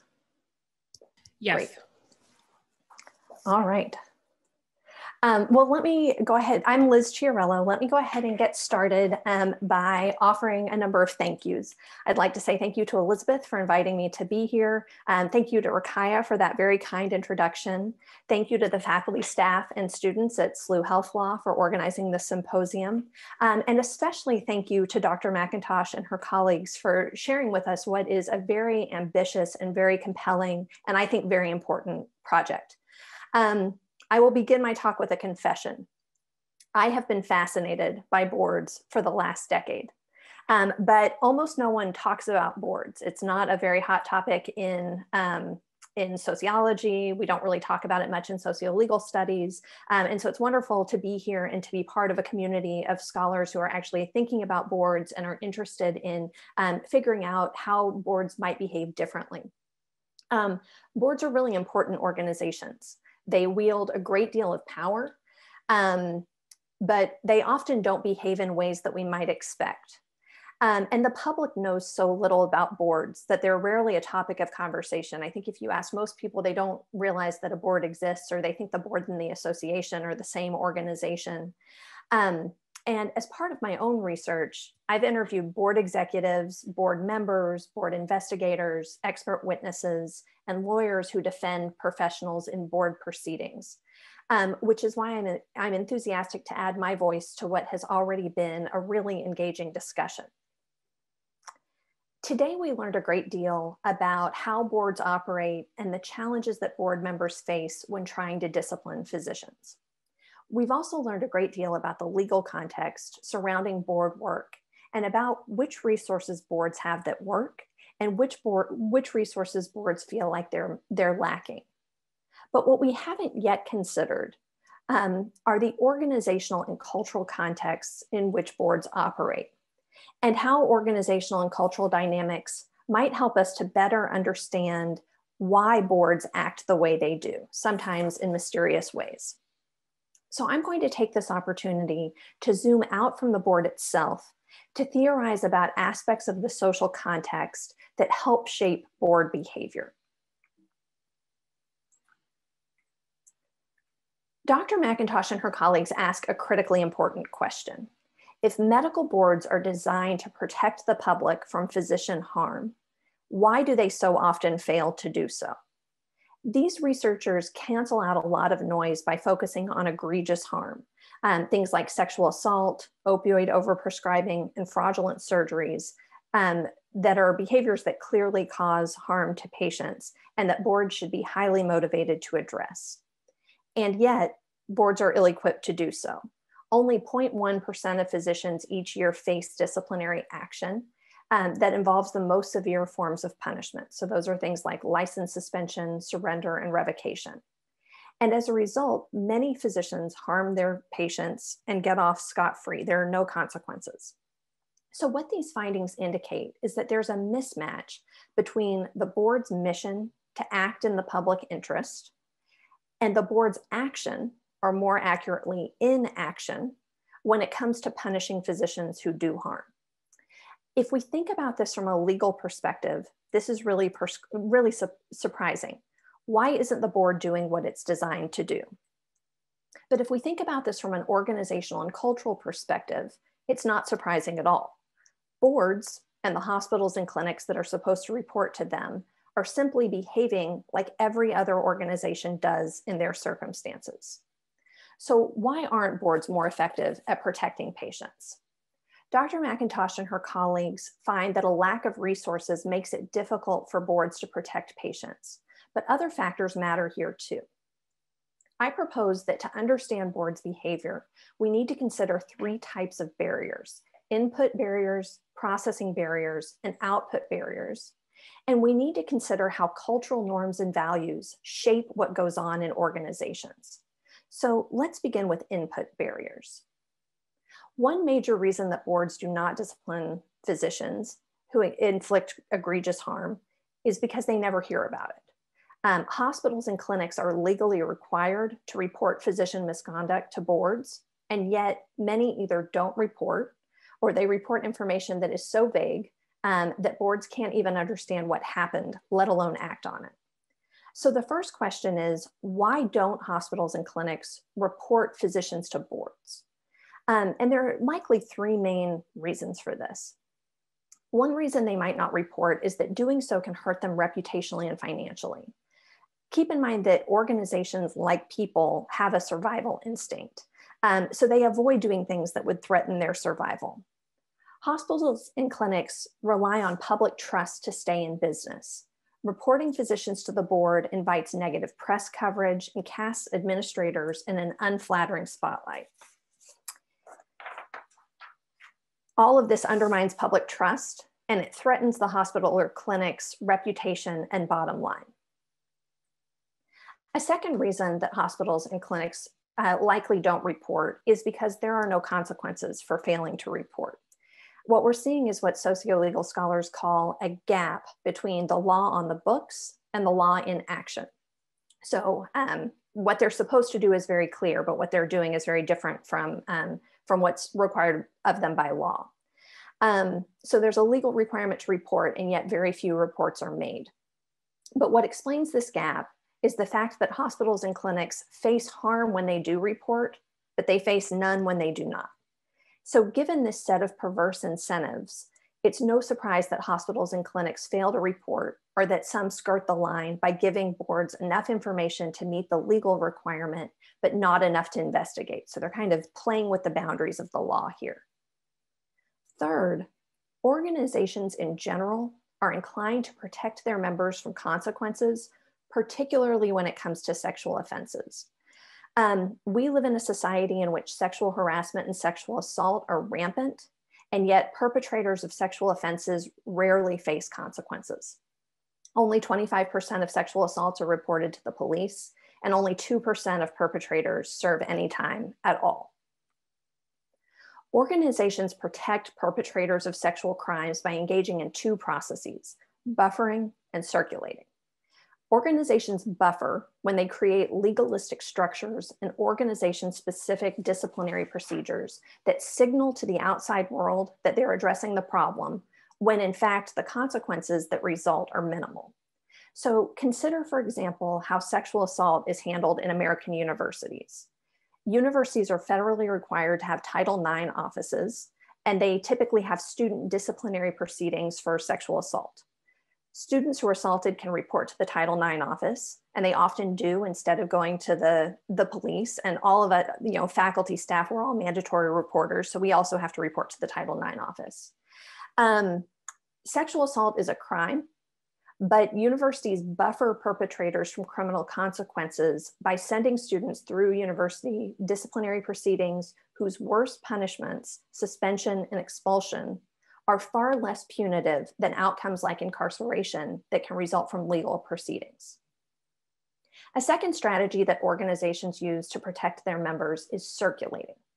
Circulating is a process of sending offenders to a different organization instead of punishing them or a different branch of the same organization.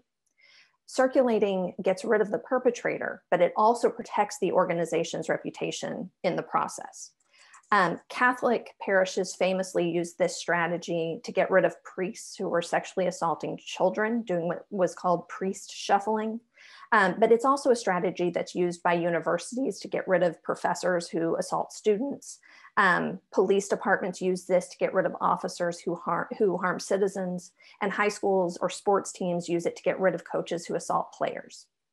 In each case, circulating creates opportunities for more harm because instead of being shut out of the church or the um, university or the police department or sports. They simply move their harm to another, um, another organization. So what does all of this mean for hospitals and clinics? It would be reasonable to assume that hospitals and clinics engage in buffering and circulating instead of reporting to the board. That they buffer those physicians with powerful reputations who bring in a great deal of money, and that they circulate those who don't. So buffering and circulating help to protect the organization's reputation and its finances, but they never actually address the harm that's occurring. So buffering and circulating might help explain why boards never receive information that they should. But what about the information that they do receive? Why do boards so often fail to discipline physicians even when someone reports them? The answer lies in processing barriers. Several factors are likely to shape how boards process information, including the very factors that prevent them from receiving complaints in the first place. One way of thinking about the board is as a buffering organization, that it buffers physicians against other kinds of, um, of legal entanglements. So a little bit of history is instructive here. Boards are regulatory agencies that are born out of professional quests for power. When boards were first developed, the medical profession looked nothing like it did today. Before 1910, physicians did not enjoy a particularly high social status. Um, instead, they were on par with pharmacists and nurses and midwives and chiropractors. And physicians themselves differed significantly in their training and in their techniques. That all changed when the Carnegie Foundation commissioned a team to evaluate the quality of medical schools um, which resulted in the Flexner Report, um, which was published in 1910, that gave allopathic medicine, the kind of modern medicine we know today, an edge over other forms of practice. Still, physicians felt other professionals breathing down their necks, um, poised to do battle over control over medical tasks. So physicians struck a regulatory bargain with the state. The bargain was this the state would grant physicians sole control over a subset of tasks and give them the autonomy to decide how they practice medicine. Um, in, in exchange, physicians promised to regulate themselves through boards in ways that protected the public interest. This is the model on which boards are predicated today. But this model creates tensions between board members' mission to protect the public um, and their professional identities. Board members are required to protect the public by disciplining physicians who inflict egregious harm. Um, and this puts them at odds with physicians who behave badly. However, most board members are physicians. That's part of their professional identity. Um, so they tend to identify with other physicians, even those who cause harm, or they might downplay harm because they, you know, Dr. X would never do something like that because, you know, um, I know Dr. X and Dr. X is a good doctor. Um, so how do physician board members contend with these competing impulses to protect the public and to protect fellow professionals? Evidence suggests that they err on the side of protecting fellow professionals. Dr. McIntosh and her colleagues tell us that very few physicians face the most severe forms of punishment, um, either suspending, surrendering, or revoking a license.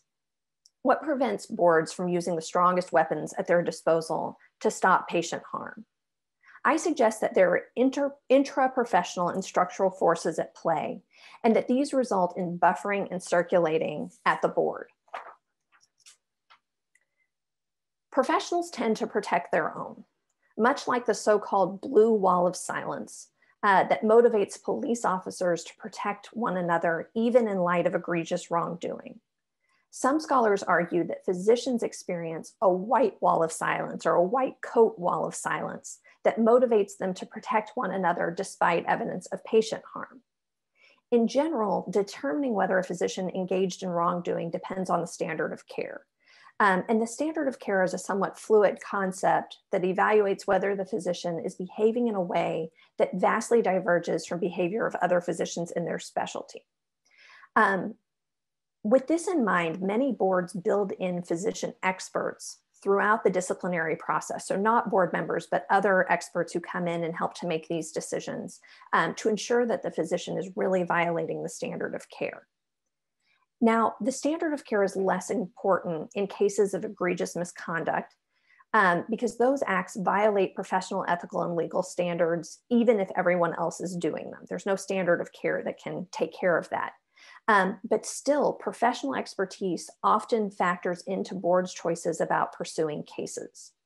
So you pair these structural requirements of including physicians in making board decisions um, with the white wall of silence, um, and it's no surprise that board members are so hesitant to pursue the strongest levels of discipline. Consider, for example, the difference between the medical board and the pharmacy board in California. Now, both boards, um, when I was doing research there um, from 2010 to 2015, both the boards were led by consumer advocates. So these weren't, there wasn't a physician, it wasn't a pharmacist. These were people who were trained in public protection. Um, but at the pharmacy board, the executive director and the um, lead investigator were the ones who got to decide whether cases moved forward. And the lead investigator was somebody who came out of law enforcement. So you have a consumer advocate and law enforcement deciding whether or not to pursue cases against physicians. In California, however, um, a physician expert got to decide at each step of the process to, to determine for the investigator whether or not those cases could move forward. Um, so if physicians are inclined to protect one another, then an investigatory structure that requires physician involvement above and beyond the board members may result in buffering physicians from the harshest consequences. A third barrier to physician discipline has to do with outputs, and we've spent some time talking about this today. Um, how do medical boards' practices of sharing or withholding information affect outcomes for physicians who perpetrate egregious harm. There are two organizations with whom we might expect boards to share information, medical boards in other states and law enforcement. And as Dr. McIntosh and her colleagues discovered, boards often fail to share information across state lines. The result is that physicians can continue to practice um, in one state even if they lose their license in another we can think about boards' failure to act as a form of circulating. Like parishes and universities and police departments and sports teams, boards take an out of sight, out of mind approach. As long as the bad actor is not under their purview, the bad actor is not their problem. This creates an opportunity for bad physicians to circulate throughout states while harming patients along the way. We would also expect boards to share information with law enforcement. Uh, the egregious acts such as sexual assault, overprescribing opioids, and fraudulent surgeries that warrant license suspension or revocation or surrender are also crimes. So when those cases come to the board's attention, it would be reasonable to expect them to alert organizations responsible for investigating those crimes, such as the local police, the DEA, the Health and Human Services Office of the Inspector General, or state fraud units. But boards often don't. Um, and in my own research, I've uncovered quite a bit of tension between boards and agencies that investigate opioid crimes. Both organizations find the other to be an impediment to their own investigations. So, board members and executives complain that federal agencies like the DEA take records that they need, refuse to share them, and then sometimes don't give them back until their statute of limitations is up. Meanwhile, criminal investigators complain that boards catch wind of their cases, get overzealous, and then decide to do audits of the targeted physician. Um, and then the physician starts to behave differently, and that ruins for them years of undercover work um, and the whole case that they've been building. Mostly, though, law enforcement agents were frustrated with medical board inaction. Um, their reasoning was that boards have a lower burden of proof and they can issue an immediate suspension order um, to stop bad doctors from prescribing. So, in their opinion, boards are too lenient with physicians. Um, they also accuse boards of piggybacking on criminal investigations instead of using their own resources to prevent patient harm. So basically, they say, you know, they wait until we do all the heavy lifting, we do this big criminal case, and then um, they automatically revoke their medical license instead of doing what is a much lower barrier uh, process, which is the board process, um, to get the physician um, out of practice. Uh, the reason that boards don't share information with law enforcement is probably also a result of buffering, the ways that physicians are protecting their own. However, it might also be about interpersonal barriers. Um, there's little routine communication between board members and law enforcement. So board members are unlikely to know who to call even if they wanted to report. And as a result, contentious and non-existent relationships between boards and law enforcement might help explain why boards don't share information more readily. We began the symposium by asking why medical boards that have a duty to protect the public so often fail to do so.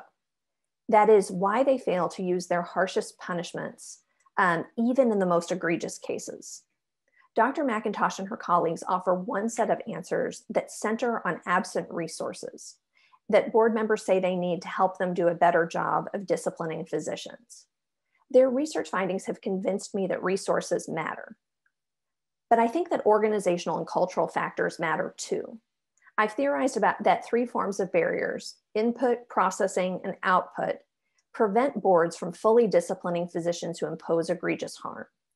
Organizations organizational tendencies to buffer and circulate their members help explain each of these each of these barriers. So why hospitals and clinics don't report to boards, why boards don't enact harsher discipline, and why boards don't share information with boards in other state, states and with law enforcement. My framework suggests that beyond providing boards with the resources they need, we also need to disrupt the organizational processes that, that prevent disciplinary cases from moving forward. And we need to change the incentives that hospitals, clinics, and boards face to protect physicians. When organizations buffer and circulate physicians instead of disciplining them, they not only fail to punish past harm, but put, but put future patients in harm's way. And there's no doubt that these maneuvers fail to serve the public interest. Thank you.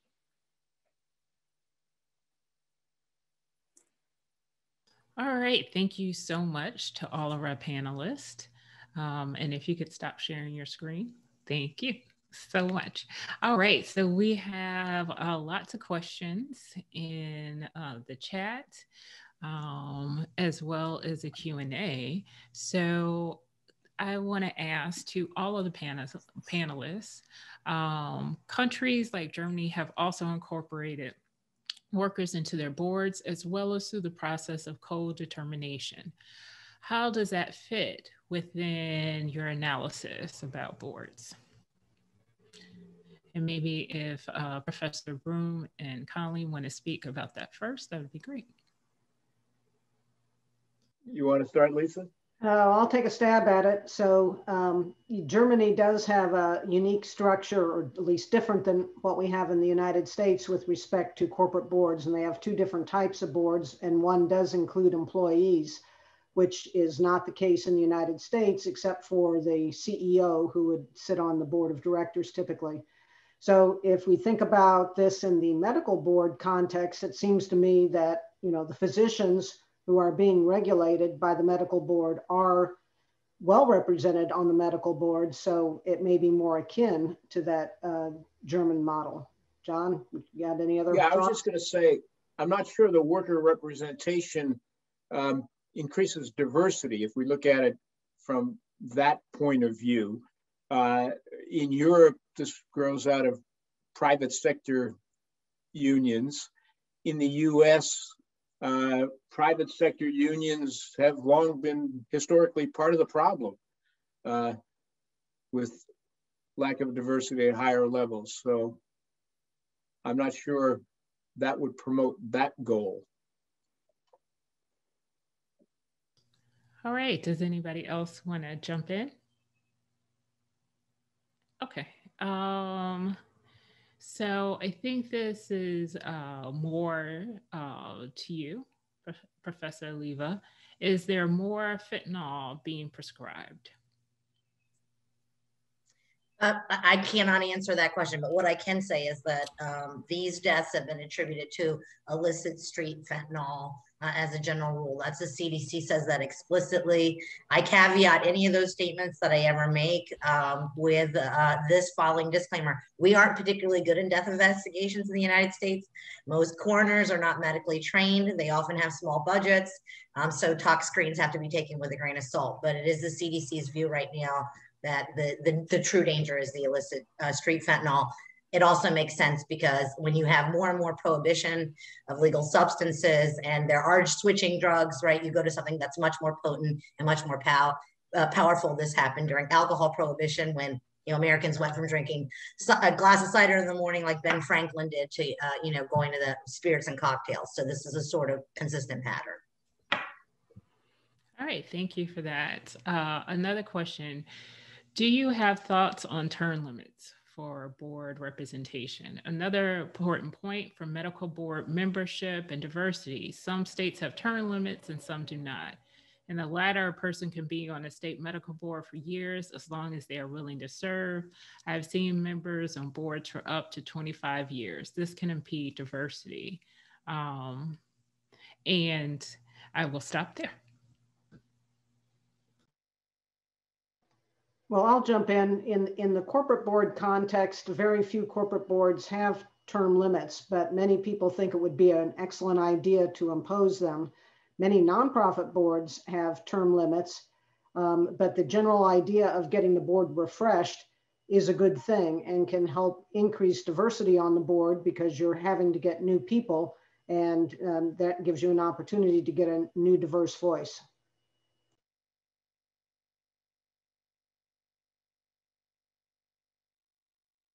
All right, anybody else want to jump in? Just to say that I agree. I think that's right. Among other things, it forces people to expand the pipeline because they've got to find candidates more often. Right. And so this is another question, I think, for you uh, and Lissa about um, do you find that demographic diversity is just as important as a diversity of perspectives? Right. And this can go to um, feminist and anti racist perspectives, also to including workers who are not necessarily represented uh, by unions on the board um, to ensure that we are just not um, replicating the same ideas, right? And so diversity is not uh, just of, uh, after, as we oftentimes say, we need to diversify medicine by increasing rates of people of color. Um, but to do so, we also have to ensure that they are treating and supporting uh, people of color too. So um, I'll stop there. Yeah, diversity is, you know, what do you mean by diversity? And um, we've been talking about it and the statistics I showed for the corporate boardroom were focused on demographic diversity, uh, gender, race, and ethnicity, but obviously it's diversity of thought and perspective, which is what we're really after. Um, and the color of somebody's skin can be a proxy for a diverse perspective, but maybe not, you know. Uh, so you, you do need to be careful about getting somebody who is going to be different than everybody else that's in the room. If, if they're exactly the same, but just a different skin color or different gender, then you're not getting the uh, increased discussion, new ideas, different perspectives, different lived experiences, which is what this is all about. Um, that if different people are making a decision, they'll come to a better decision than if a group of homogenous people are making a decision, they'll get to it really fast, but it won't necessarily be as good as the one that was messier because it had so many different perspectives. Yeah, one of the things that uh, repeatedly struck me in our interviews was how people struggled to provide examples of how diversity manifested itself uh, in a corporate board environment. Uh, some of the examples people gave were really cringeworthy uh, and involved stereotyping. Well, the woman knows about this, or the black person knows about that.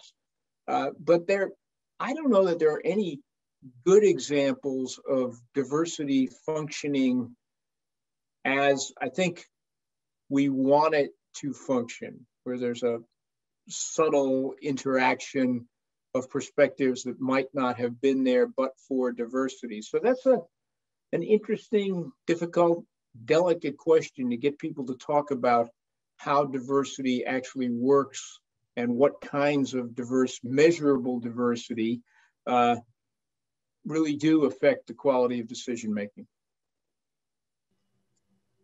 We also did, did our interview study and, and actually pre-financial crisis and um, the number of women and people of color on boards at that point in time was fairly small. So many of these uh, people ex exhibiting these uh, demographic diverse characteristics could have been characterized as tokens, and they were trying really, really hard to fit in um, to the board. Right. And that goes on. If you're talking about true diversity, then it's a better model of cohorts and not just one individual person, right? That if we are really going to talk about diversity, that that's how you support it. All right. So we have a question from Professor Pendo, and this is for you, Professor Oliva.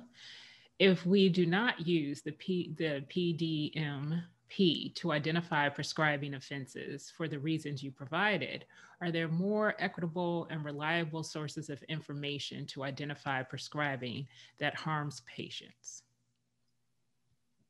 Yeah, I mean, I think that um, what we need to do here, and is a bit more complex, but the EHR itself, right, the electronic health record has a diagnosis. As long as you have the prescribing, there, as long as we have that integrated system, and you have something like that, um, that's a better choice because you get a lot more patient information. What I would like to see incorporated uh, into any model is a, any kind of measurement of patient outcomes. And I, I understand where she's coming from.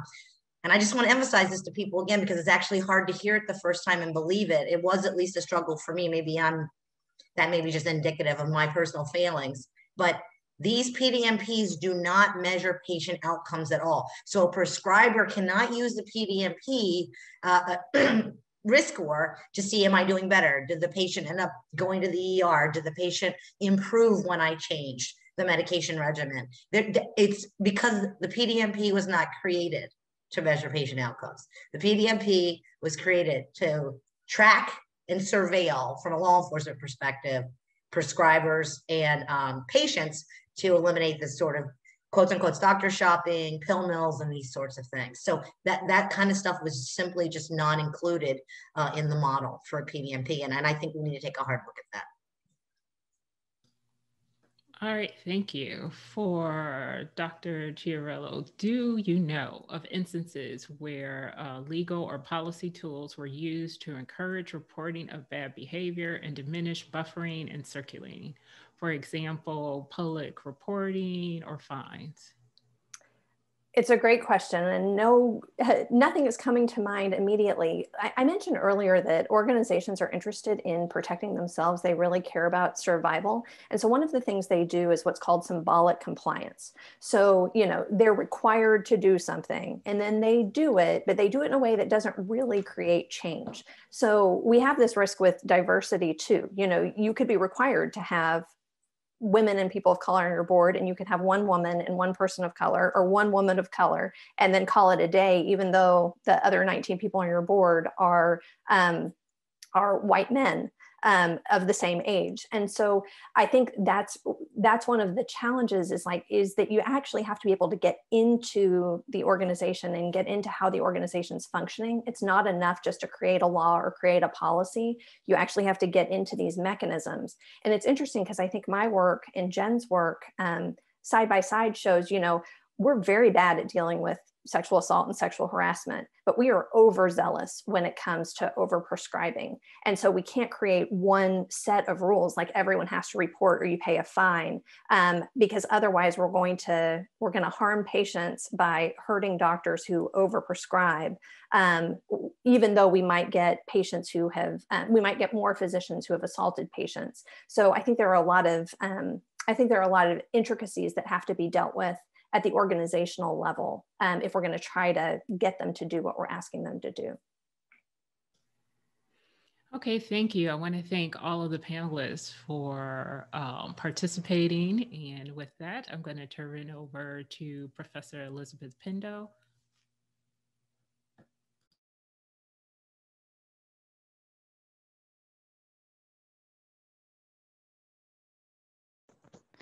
Okay, um, I just want, oh, could all of our panelists who are still with us um, turn your video on so we can all see you again? Thank you.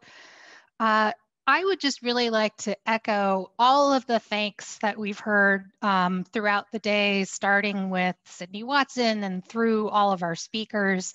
Special thank you to everyone who was involved in planning this day, Amy and Cheryl and Julie, uh, I want to thank my health law colleagues for supporting me in this project and for helping me host this event today. I really appreciate it. To my student research team who's been out mapping these laws and was present all day today, listening and learning from our speakers. Um, of course, to my team members at WashU, Jim and Tristan and Heidi and Carrie, to our wonderful advisory board who has helped us all along the process and, you know, really a special thank you to the panelists who took part in our surveys. At the time we created this project and um, recruited panelists, it was in the before times, before COVID. And, you know, you haven't uh, experienced fun until you've tried to do a survey of primarily physicians during a major pandemic. Um, but despite some delays and obviously having demands on their time due to COVID, we really appreciate the incredible participation and rate of participation um, that they gave us. I special thank you to all of our speakers today. Just a round of applause for all of you for sharing your expertise and your feedback. Um, and to the students at the Journal of Health Law and Policy who are going to be publishing papers um, from today in a special issue. And for everyone who attended um, today. It was incredibly engaging. We appreciated your feedback and your questions. My email is right here. If you have more thoughts or questions or comments or criticisms that you'd like to share with us, please feel free to get in contact with me. We're truly interested in your thoughts as we develop the um, legal paper with the model provisions and also our uh, other publications And then, of course, as we move forward, to think about strategies to work with boards and the FSMB and legislatures and other policymakers who want to take a look at their laws and policies and practices uh, to implement some of those recommendations to help them better protect patients. Thank you very much. A round of applause for our speakers.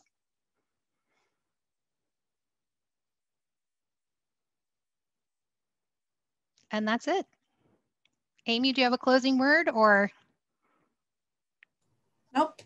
All right. Sorry, didn't mean to put you on the spot. Thank you all for being here. There's um, a link to an upcoming event that the center will be hosting on March 22nd. So please check that out and register and we'll see you at the next annual Health Law Symposium. Thank you, everyone. Bye-bye.